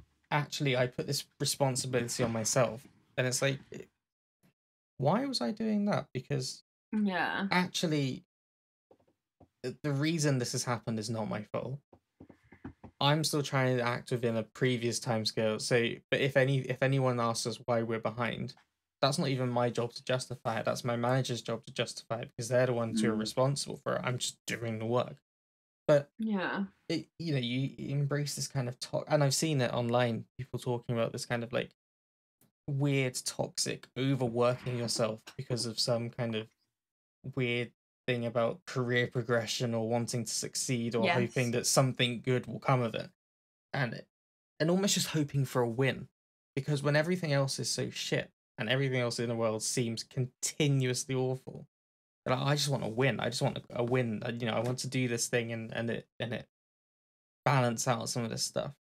So like I was doing all that, all, all of this stuff together. I think my head just felt like it was exploding. And this week, yesterday, um, no, sorry, Friday, I came back from work and I felt broken, genuinely Mhm. broken. Like I just sat down in my chair, and I just sat uh, solid half an hour, did not move, didn't move, didn't say anything. didn't That's because your turn physical unwellness as well. Then. Yeah, I was completely yeah. done. And it was because I'd worked so hard, but also because I was thinking about all these things going on. I was, I'm embarrassed actually that in 2022 I can turn on the news and see, oh, there are people who are starving in the UK. There are people who won't be able to heat their homes this winter in the UK. I was like, what? That doesn't make any sense. How can that be the case? How can that be a situation when there's all this like money out there and there's all this stuff going on? You know, Elon Musk's out there just casually buying Twitter for some ridiculous amount of money, and like, what? Do you mean there's not enough money for someone that to heat yeah. their house? What do you mean? That's ridiculous. What do you mean that like we're not taking climate change to? And it just overwhelms you. There's no Yeah. recovery time for anything because you're just there's always some weird there's always something And- going on and all i really wanted and and want almost was literally nothing like a week or two nothing i want nothing to happen and I just want to be able to sleep, wake up, and catch up on all the shit that is like on my to do list, which is eh, I'm sure it just grows. Like I don't think it gets any shorter. It just keeps getting Yeah. longer and longer and longer. I just life is very overwhelming. I think, I feel that. and when you're not in a good place or even if you are in a good place, it is a struggle, and it's very easy to to feel like, like I think I compared it to someone like it's like when you're in you're swimming or something, and you stop because you're you're you're a bit tired, and you think, oh, I'll just tread water for a bit. But you Mm. think that the ground is like closer than it is, and so you're Yeah, like, whoa, whoa, whoa, whoa, whoa, whoa, and you're panicking and like doing, and it feels like I'm in that stage, and I've been in that stage for a while, and I'm looking up at someone on the side like a lifeguard, and I'm like, could you just jump in and save me? Why are you not doing anything? Why are you just sat there looking at me? Like, yeah. help me, help me, help me! And you look around, other people are in the same situation. You just, it just seems so relentless. And I think the uh, thing is, Chris, that you What was that? that you, oh, I, I, I, was your toe. I think in terms of what's going on now, I mean, just just to address the first bit, I mean, I mean, apart from anything else, burning yourself out, um, and then you know we've all been privy to that at one point or another in our lives where we do too much and we override us, work ourselves to the point of, of insanity. But the thing is, as human beings, we need to go home and do something we enjoy. Whether it's it's a little thing, uh, for me, it's, it's probably game. Well, it is Gaming. but it's something that is a pointless activity within itself. But it's, you know, if you were to look at, at it, what, what what are you achieving there? Well, nothing really, but I love it. You know, I, I really enjoy it. Um, and we need that every day. Something where you know we don't have to things aren't, aren't, aren't you know we, we don't have to complete a task. We don't have to do our work or something that is is pivotal to our lives. It has to be you know something that is just slightly separate from that. I think is so important. So you know, I'd say I think something like just even you know just for an hour, even just sitting there and being able to have some relief or just not think too heavily, and actually you end up coming back stronger to your work if you do Mm. that. I have anyway previously. If I walk away for a little bit, I'll be much more productive when I come back. But um, as I say, I, I think with you, Chrissy, as well, you know, you, you, it's such a lovely thing that you kind of do take the weight of the world on your shoulders more literally. And as you say, everyone should feel that way. And if everyone did feel that way, we wouldn't have all the problems we have now. What is yeah? what is Um, the people who? How did you get in? Hello. Um, it's not everyone should feel because like some people feel it. It's the it's the people like Elon Musk who need. No, no, to but feel if the weight of the everyone thought about these moral and, and thought about the bigger picture like Chris is, yeah, then the, the problems wouldn't be there. Exactly. You know. Um, and also, I think that some people will say, "Well, why don't you just stop caring about the like things going on in the world?" Um, I know lots of people who say, that, "Well, just don't care about it. Just stop thinking about it." And it's like, well, that might be nice for you to do, and I really hope that you can Mm. do that. In fact, I desperately hope that you can do that and switch off for a bit, because I would. It is fucking depressing But to that's be thinking isn't it, about it and empathizing and like and I don't mean in a cruel I genuinely if you can somehow switch off great I can't do that because I it's just not how my brain functions. I I I not sound like I'm I, why am I put no like I I have a lot of empathy and I I really spend a lot of time thinking about other people and what they're going through and try and think if there's a mm. way that I can help them or do something or do anything to help them because that's all I really want to do. Um, yeah, and I'm desperate for it. So, you know, if you can somehow switch off, great. But it's actually not useful for me for someone to say, um, well, just stop caring about it. Well, I can't. Mm, I can't stop Mm. caring about it, and I'm not going to stop caring about it, and that's a ridiculous thing to say. and I'm actually kind of glad, Chris, from the last time we spoke, um, that you're seeing it in a better light, in a better light, better light now. Um, you know, you, you're seeing that that empathy is as a, I, I, I would hope, at least we do see it as um such a strong and, and great characteristic of Yeah. yours. Mm. Um, it's a big part and- of what makes you you. yeah, you you care. wouldn't want you to lose that ever. And to say, that, you know, to say stop caring in, in a kind of, um, you know, in, in a short term sense, you know, that, that does sound, oh yeah, just, just, okay, like, uh, that, theoretically that makes sense. But obviously for you, that's not, not going to ever work because, as you say, you've got a lot of empathy. How can you walk around on a planet and not think about everyone else in it or Mm. just, just blind yourself to everything else going on around you? Oh, it's all great. Yeah. There's a Um, part of me that so when I when people say stop stop caring, I'm like, well, can you start caring then? Can you Yeah. can Mm. you care a little bit? Because if you cared a I little bit and people stop- like yeah. you cared a little bit more, maybe there wouldn't be all these things to worry about. There's all these things going on because there's so many people who are like, oh, well, I just don't care about it because it's not my problem. I'm like, okay, great. yeah. Yeah. Well, you are part of the problem by not even stopping to think for a second about that. Yeah, absolutely, Chris. I feel you.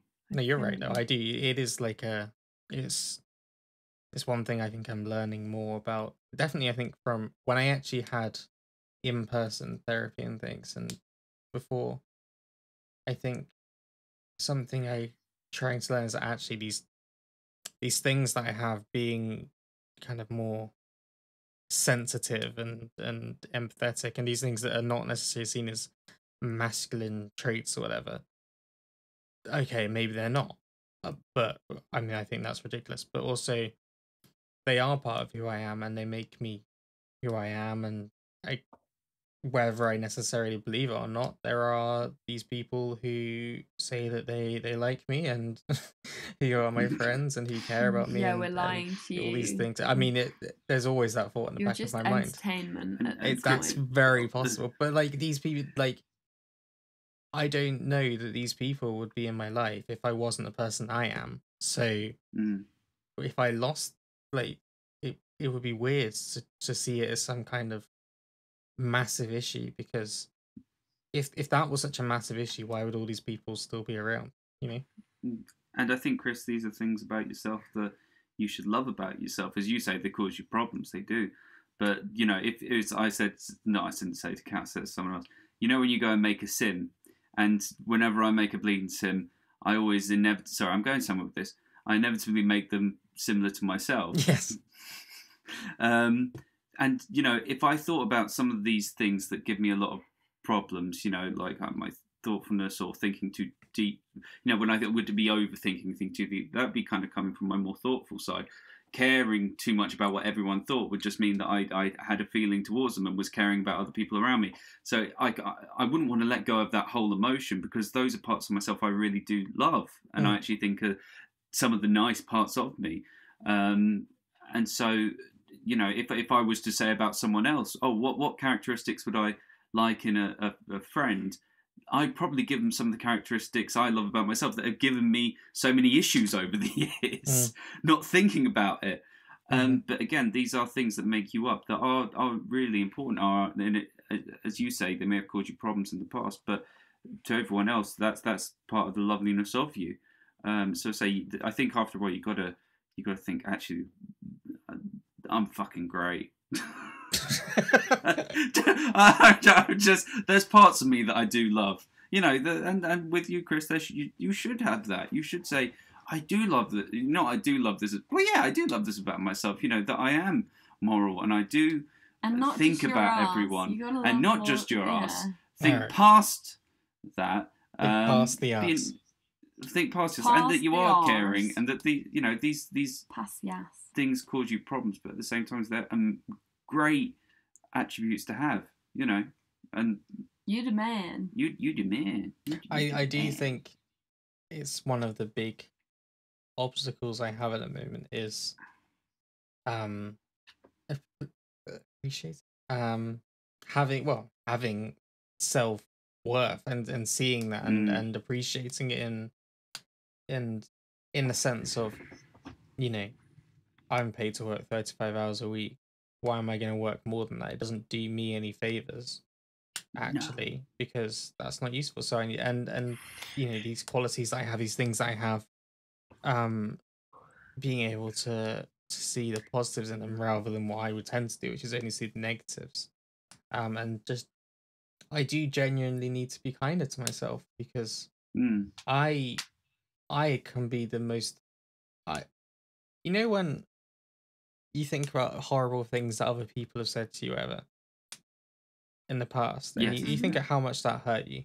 And like, there's people Yeah. have said some really fucking horrible things and done some horrible things. But I think one of the most horrible people to myself is me, because the stuff Yeah, that I say, sure. the stuff that I don't say out loud, the stuff that stays very much in my head. Wow, you know, like if you were to hear Mm. me say it to someone, if I was to say it to someone else, fuck me, that would not Yeah. be. But I, but it's it's how my brain has has worked for such a long time. It, it Yeah. is it is it is very difficult to to break that, Mm. and I, you know, it it doesn't help me to go onto this thing and do a, a module on how I have these dark thoughts in my head. It's like, yeah, no, no, horribly aware of that one. Um, I want to I want to stop the voice. I don't want to know more about the voice. I can Yeah. Mm, that That voice can explains fuck it off. very well. That voice can Yeah. very much fuck off. That I want I want sucks. help. Yeah, yeah, absolutely, Chris. But, um, Sure. but I, I don't think it's all. I mean, I'm I'm lucky that I have people around who care, like you guys and and, and some of the people listening, and, and and friends and family and and all these Thank things, you. which does help. Um, I genuinely keep saying it to people. I'm like, I it's difficult to find the words because it, you worry that it sounds like it doesn't mean as much, but Yeah, to actually have people around who care and, and want to know how you and genuinely want you to be better for no other Mm. reason than because it, it Mm. they want the best for you. It makes it's just like um you know, uh, you know how I love that metaphor like the the black dog or like black clouds all that kind yeah, of thing. yeah, like oh, It is like like yeah, it is like having like there's like candles, like tiny like tea light candle things that someone's lit, and you're like, oh look, there's a little bit of there's a light over there, like these, or like looking up at the sky, and you just see like the, you know, it's like, oh, it's all black. Oh look, there's a star. That's that's cute. It's it? Oh, and and and you see these things, and it just is that little bit of light that breaks through. Actually, it makes you think, Yeah. all right, I'll I'll keep trying because there Mm. are these things here that are worth trying for. yeah. that just really reminded me of the film Soul, the Pixar. Oh was yeah, it Disney or was it yeah, Pixar? uh, yeah, Pixar. I think. Um, I don't think yeah, I've seen but I it. didn't know which one. It, It's oh, really it's, good, It's actually. heavy. Very it's heavy, heavy. fucking so heavy, that you film. gotta be like, but it The it doesn't. ending was quite. Yeah. I think I can't remember exactly. y- y- No. Mm, About ten minutes, yeah, but, but twenty minutes in, you think, away, "Oh, this is the kind of film we're about to watch now." yeah, it, it's it's heavy, but it's like sweet, I guess. But like, it's a very good film. Just It's like Inside Out. Inside For Out was one that really Oh. got me. Because that's the Oh, same. God, that starts actually- off and you're like, oh and then you're like, oh, oh, this got real, and now I'm in too deep, and I've got to Mm. like see it through. But that was a really Piers good one. saw that film in the cinema Oh no! Why would you say this? when he broke. Why up- would you say this? You, you explain it because I wasn't there, was I? So I broke up with my ex of five years, and we were sat in the cinema, and we said, "Oh, we're gonna just be friends." So we went along, and what film did we say we were gonna go see? Inside Out, Oh, yes. A Oh, film no. about how to deal with your feelings. And even though things have happened in your life that are sad, like losing friends and moving places, eventually there will be a sad, happy memory. and it was like, oh my God. I sat down, and the very first thing that they put on was this little short film before the main movie Mm. called, I think it was I Lava You, or the, about two volcanoes. Oh yeah, yeah, yeah. One goes up and one goes down, so they never actually get to see each other, but they always will love one another as they go. And you know when you're just like, she she burst into tears. In the first five minutes, I thought, oh my god, we're going to be on the, the ride of a lifetime. oh my. And little did I know, the next hour and a half, I'm not going to do an impression because it is it was pretty awful. But she was crying her eyes out, Oh and the oh, guy, no. it was it was just me and her in the cinema as well. So Oh. the guy who was, so the guy who was um, in the room with us, you know, they usually have a, a Like an steward or usher. yeah, an usher stood there just at the bottom, was just staring at me Oh. the whole time, like looking right at me like you piece of shit. And at that point, I wanted to die. I didn't want to be there no more. no. Um, I was thinking, how how do I say? Let's just just walk away from this. Um, but it was awful. That, that that actually goes down as one of the worst hour and a half, two hours of my life. oh my That, that god. does. What a disaster. Well, I it's mean, Yeah, it's what not I as bad as that. but Um, but Soul is something as, as kind of similar to that, where for me, when I saw Inside Out, not maybe that time, the second time, there was a lot of emotions. I can't emotions. believe you chose to watch it again after that. you had to change It it. was You a had to great get a happy film. memory the second time. Yeah, I had to get it. But the sad, thing was happy that it. I'm not, as you say, Chris. Sometimes I'm not able to say what I exactly mean. Usually Mm. because I can't quite articulate it in the way that I want it to come Yeah. across. Um, so I end up tripping over my words and whatever. That film said a lot about that and said said about processing your feelings the way I felt before. It said it in a much more simplistic way that I could understand. Mm. Um, and Soul does a very similar thing. It, it, it, it kind of helps you process. Actually, I will say about Pixar, they are so clever with putting things in a way where kids can try and Deal with grief for Yeah. that film. It's like It teaches you a lot of lessons. It teaches me Yeah. a lot of lessons, even being And we 28. watched it as you know, adults. Yeah, like yeah. it's great. Yeah. It was. I It's, think it's it's, one of the crazy amazing. things, right? Is that we um overcomplicate a lot of things Mm. as adults and make it into this this thing, and actually, like sometimes that you like saying "I'm sad" is is the words. It, that is that is what I'm trying to say, and I I try and find this way. Uh, well, you know, like uh, sometimes this thing happens and and then this and is that no I I'm actually just very very sad and that's that basically sums it up very well and it doesn't you know it doesn't need to be and you know even if you don't have the words it's okay to be like just not okay Yeah. that's Yeah, fine like that. uh, we we know what that means so you, you don't you don't need to say and i think that's a really good thing really is that if someone asks you how you're doing and, and you're not okay you know so you can just say i'm not okay i don't really Yeah. have the words right now but i'm not okay Yeah, no, absolutely, one hundred percent, Mm. and and not being too worried about what that other person thinks. You Yeah. know, I mean, for me, the the most empowering part of coming coming through all of this and going through crisis teams and stuff is now to find friends, and you know, and I, I can name like you know a good ten off my list where I can say, well, I'll, I'll sit down and, and talk to them about everything on a mental health uh, level that I, I would never talk about before. And I do it for two reasons. I do it because I want people who also feel that kind of mental pressure and that to mental anxiety alone. to not feel alone and feel that they can talk about Yeah. it. But I also do it for me so that I can think to myself, well, fuck this. I've let that run me down and kept that in the closet for so long. Um, yeah, you laugh because I said that. Sorry. Grow up, Kat. Um, um, you know, I, Grow I, up, Kat. I'm going to make this work for me. I'm going to make this a weapon as opposed to just you know letting it bear so heavily on me. So when I talk to people about it, it's it's it's the you know it's it actually helped me. Yeah. I hate you so much That's- sometimes. That's karma for doing it to me earlier. That's okay then.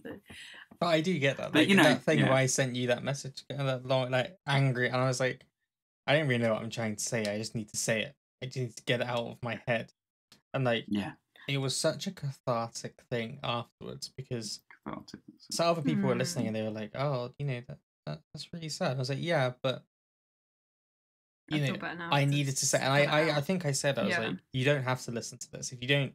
Like, I don't really mind if you listen to it or not, but right now I Mm. just need to say it and get get it out of my head because Well, I didn't I really can't give you carry a it huge around anymore. response no, you didn't, but you didn't need to. because but that was the thing. I didn't. I thought you, you know, you wanted to just get it off your chest type thing. I would have been happy to have a Um, conversation if you wanted to have one, but I wasn't gonna like.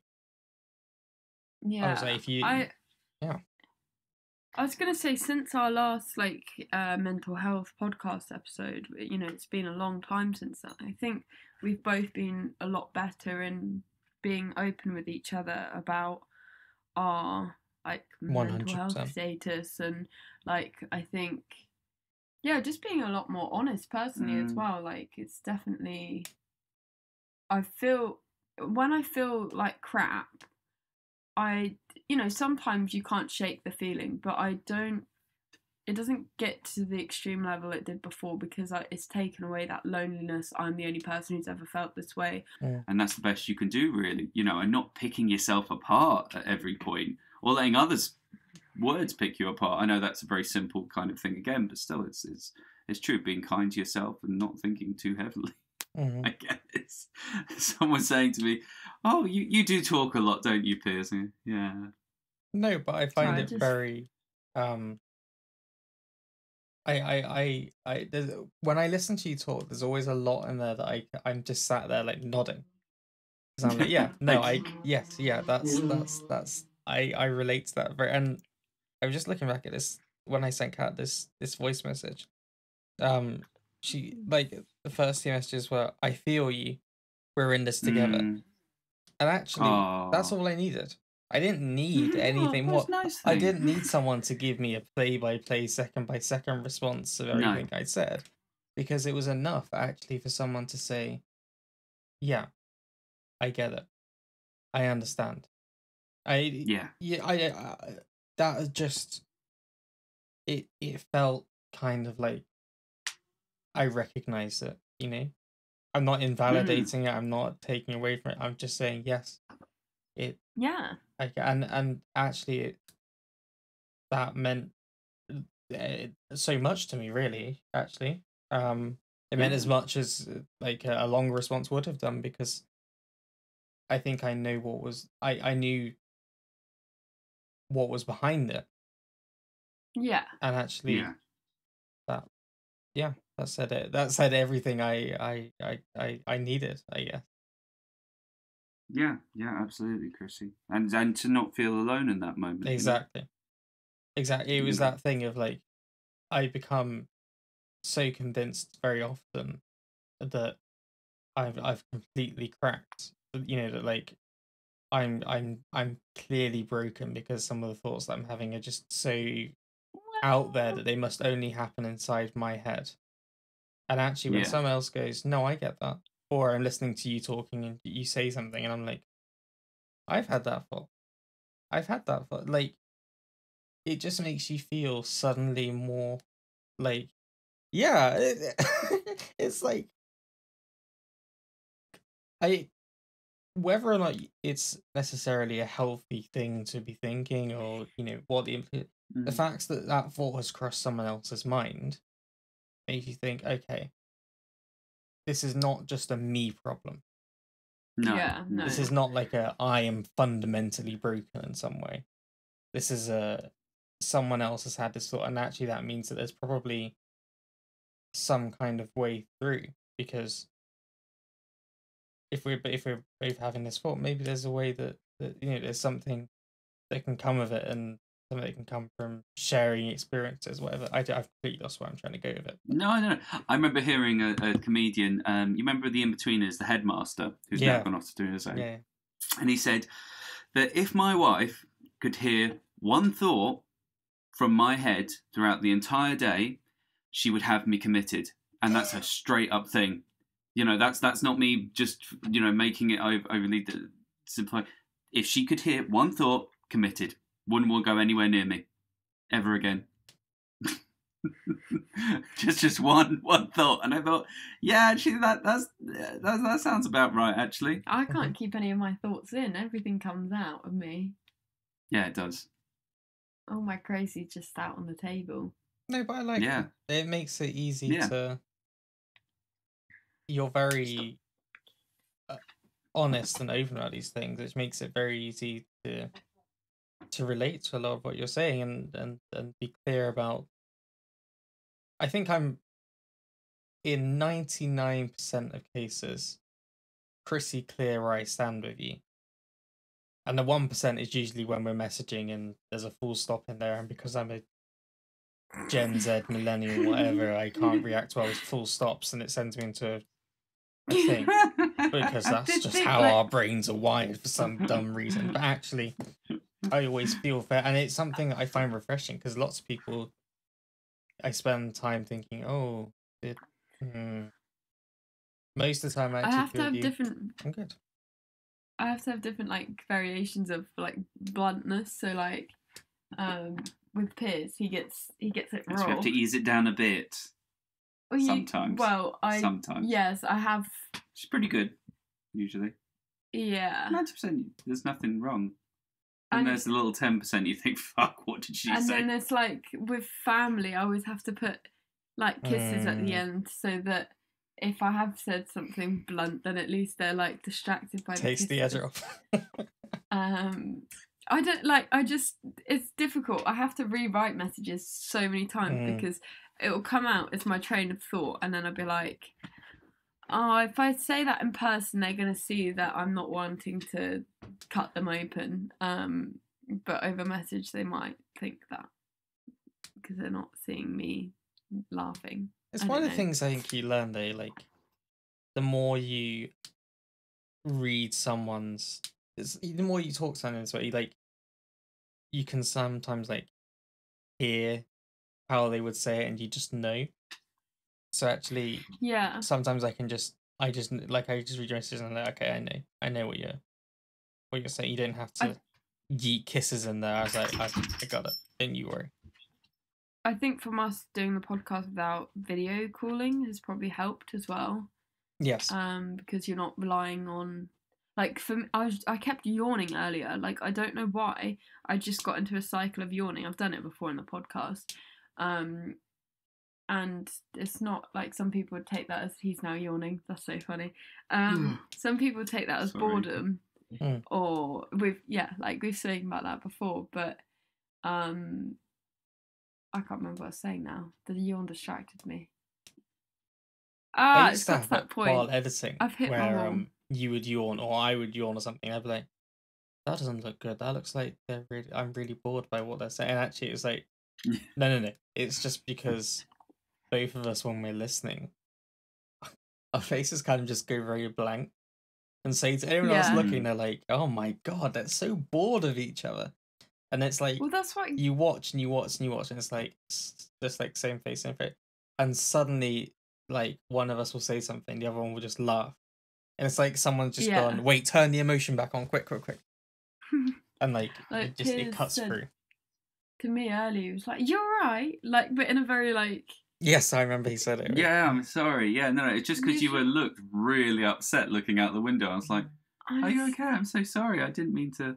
what oh god what is it uh, let's not get distracted Yeah, Flip, no, that's not flip get distracted. Um, yeah, I know. I was just looking out the window like I normally do on the podcast. She like I does. just just blanked out, and Piers just kept looking at me. I was like, oh, I do not have the energy to show like facial expressions for the next two hours. Mhm. Um, I feel it. it's like a conscious thought sometimes, and I do like with these. You know, I have to sometimes change my expressions, and there's uh, we do have miscommunications. And yeah, stuff I think because I'm such a people pleaser, I always have been. I was. But you born you'll find me like you'll think I'm being shitty with you when I don't think I am. Um, a lot of the time, But that's the thing. Facial cues to me are the most that. important part. I know it sounds funny. If someone doesn't smile or doesn't it doesn't look that happy to see me, I honestly Oh, that take it me. so badly. That gives oh, you anxiety. It gives That me kills me. terrible anxiety forever. But then, And like, if anytime I'm thinking about that person, if someone's got just kind of a dead face, but I d- all like the I time, can't help it. I'm like, oh shit. it does it I- I- happens to me online i was in a someone's stream and someone else joined one of our friends joined and to everyone else they were like oh hey hey hey and kept putting in love heart at the end and i was like oh hey and they said hey no love heart at the end and i was like well that's it then looks like i'm a piece of garbage i'm a trash i'm gonna get thrown out as the Oh, absolute waste of space like and then Yeah. i i think i ended up was like do i get a love heart and then they were I was like oh well now i look like a needy shit as well so that's good um, I love how you've got the same monologue as me. but it's so stupid. It, so I 100% get what. Yeah, I, I know what where Piers is coming from. with that. Oh, fucking hell, it's awful. It sucks so bad. At a party, I'm awful. I was like, oh, well, did, Sonso didn't seem on that yeah, great you'll be like, oh, she I okay? think oh, I don't so- think she likes me. Oh, I'm not, I don't think Mhm. she's a fan of me. Just because she didn't smile at me all that great. And then the problem with having someone who's blunt in your life is that they will end up going and telling that person when you're Yes. stood there and you feel, Oh no, I'd just be like, oh, do you like Piers? Yeah. yeah, Because then he the didn't thing think you liked him. Yeah, because most of the time they to do someone like I don't know that well. And I'm sure they're like, oh, uh, no, no, no, I didn't really think that. I just said, One you know, of my you seemed to- relatives. Fucking Don't hell, that was names. embarrassing. One of my relatives. To a you- whole Piers, party. can you just listen? One of my relatives. Hmm? Oh wait, we should probably end the podcast. Actually, I've just realised it's it's it's. it's we got a bit carried away, didn't we? No, I was. So I can I think one thing I Piers. say before. Yeah, well, exactly. I think definitely, and it's not even. really- This is just where we've ended up in this conversation. But like, I think you and I definitely have become better at communicating with each other. Mm. Genuine, Yeah. not genuine, but like, I think when we were younger, we both kind of were quite um Awkward. Awkward, but also for one reason or another, kind of incapable of really being emotional or being fully open and vulnerable. You know, like I feel like we both go for like the "oh yeah, I want to kill myself" kind of thing, but like yeah. to actually confront those things because I know that from my side, I was like, oh, if I admit some of these things that are in my head, she's just gonna be like done. Like, She's not gonna care anymore. I think we were in very similar places, but we Yeah. were joking about it instead of talking about it. I think that's the thing. We uh, because neither of us really, I don't know for whether something to do with maybe what we were going through in life and various things we weren't. And I Yeah. think actually, as we've both grown up, we're better at being able to say, actually, I feel like shit, and and like we can make a joke about it, but like we can also be honest about it. I think we've we can have got the flip side. Yeah, we can we can talk about. We know the time and place for like Yeah. laughing. And there's I still think th- the times where it goes wrong. I mean, there's still times when, yeah, especially the podcast where I get in my own head when I'm talking, and if you, Mm. if I haven't heard you say anything for a while, or I haven't seen the like meter flick up, I'm like, oh, she's, yeah, she hates it. She hates it. Stop talking. And then you're like, oh no, Pippin was doing something. and I Pippin was dealing doing. with I knew you. Yeah. And I was like, oh, right. Or like, so, yeah, something's happened, and I've like I'm trying to deal with it quietly while listening to you. It, yeah. And my brain just immediately goes to the worst case scenario. I'm like, oh, she hates me. Mm. That's the end of it. Friendship over. I mean- I, I, Chris, I have exactly that same thing on a, a bi-weekly basis. um, because what happens is that I'll write a song, Hmm. two songs. Sorry, very quickly, and I'll, I'll do No, these two songs. I'll put a lot into it, and then I'll send them over to or or someone I'm working with or whatever. And you know, these guys are working all the time, and then I'll sit there and I wait four days, and I wait five days. And usually you can trace it on the first day. I'm like optimistic. I really like this song. Second day, well, you know, it's it's still good. yeah. yeah. Third day, you know, I'm just not sure on it anymore. Fourth, I I just think it's one of the worst things I've ever written. Um, and then by the fifth day, you're like, he hates me. He's heard this song and he's thought to himself, "What a talentless hack." On the fifth day, And I'd be messaging. I'd like, actually, don't worry about listening to that. It wasn't very good. Don't just delete it. Your. That's what I about it." do. No, t- that sixth day, that sixth day after a week, I go, don't worry about that. Here's something else. Um, that I did that this week, so that gives you, and I have that every fucking week. I have this this d- degradation, and by the fifth day, I'm pissed off at everything. Every week, every week, it's ridiculous. It's ridiculous, Oh, and that's my life, in and out. Um, The Oh, thing is, though, it's kind of hard though because Piers will be like, "Oh, I really like this song that I've just written. You tell me that," and then a few days later, I'll be like, "It's terrible. It's terrible." I'm like, "Are you just looking for compliments here? Like, is that what we're getting?" So then you get the like, I was like, "Piers, you know it's good. Stop being stupid." Like, and There's that's the and then he's like, blunder. "Ah!" There it is. Ah! Ah! But the thing is, from my side of things, I've not seen the like build up behind closed. I've like, like not heard your internal thoughts of you gradually descending. You've gone mm. from like, oh yeah, this this is like the best thing I've ever written to this is the worst thing I've ever written. I'm like, for fuck's sake! What- don't." The worst thing that they can ever say to me, one of these guys, is, "Oh, Piers, I'm going to listen right now," and they're not message me for four days. Mm.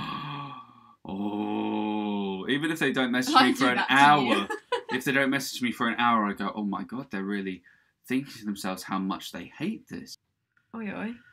Two Oi, pictures oi. actually Stop didn't fit on one. Sorry. Can you stop leaning? Like you keep getting further and further across the room, and I'm having to like lean. At one point, I was lying on Piers because I kept he kept pulling the ear. Here's the my question: earpiece. What are you going to use to replace oi oi? I don't know. What are you going to replace it with? What would you go It, for? it has to come naturally. Hola. Have I said it today? Yes, about ten seconds ago.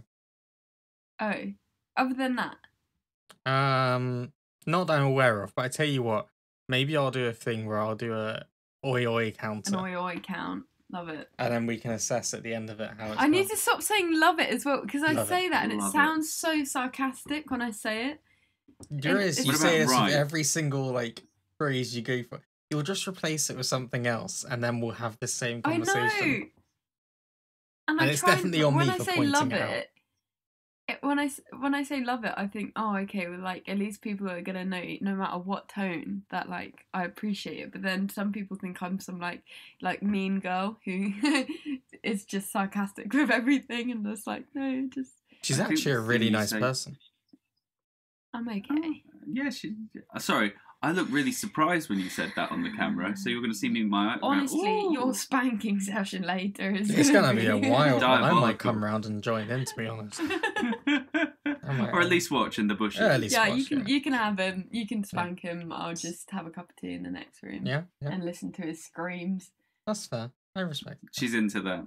She's she's a That's well, why there she- we go. That's why she listens to my music to listen to me just whining away for hours, and then like, oh, listen to him. He sounds like a cat. Oh, Oh my god! Right. Hi. Thanks for listening to this. Um, it has been a long episode of. Well, I don't really know. editing. it Oh, was God. in theory about mental health. and we touched on it. We touched on it a little bit. We also discussed supermarkets, spanking, Yeah, Pippin, um, Peg, um, spanking like again, gagging. uh, Piers naming A bit of politics. Um, Piers, you want to name anyone else's name? We... Yeah, I know. You literally like. You, uh, I'm not Kat's even panic gonna- every time you mention a name, and me writing down the Yeah. timestamps so I can remove them.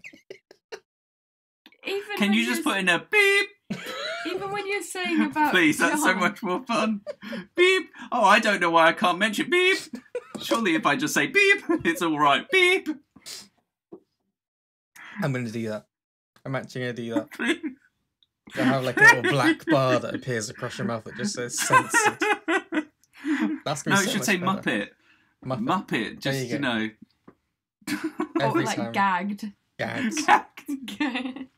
Okay, well, thanks for being here. Piers, thanks for um, thanks for popping in. Being our Um, no, it's all right. I, I I'm- think I'm Piers should come glad- back more regularly. I think every few episodes, Piers should come back in. Um, for no other reason. How long do you want our relationship to last? Well, I think it'll be a I'm good sure- test of you know, like you can bring your marriage problems on it. That's it. After you've got married, Oh married, yeah. we'll have Oh like a little God. marriage counseling session every few weeks where you come in, and I sit here as the like independent observer, and I'm like, to be honest, kind of does feel like you should probably up to a metal bat now instead of the wooden one. we should do we should do an episode like just before we get married and then just like and then gradually We'll after it. as We'll well. do pre-marriage, honeymoon period, end of the honeymoon period.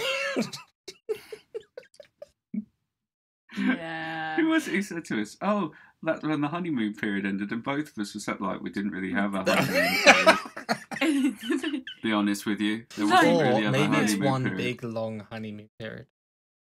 I think it just got better. yeah.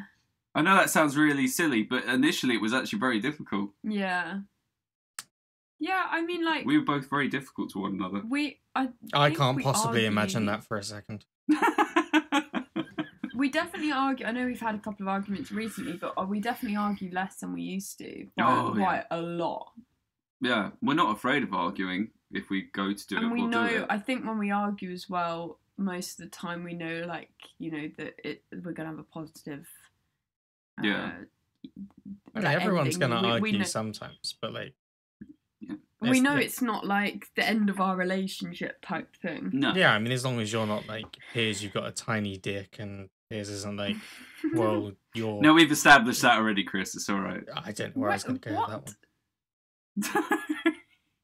no, no, we, we got that one out of the. That was pretty uh, above Early board game, from the get go.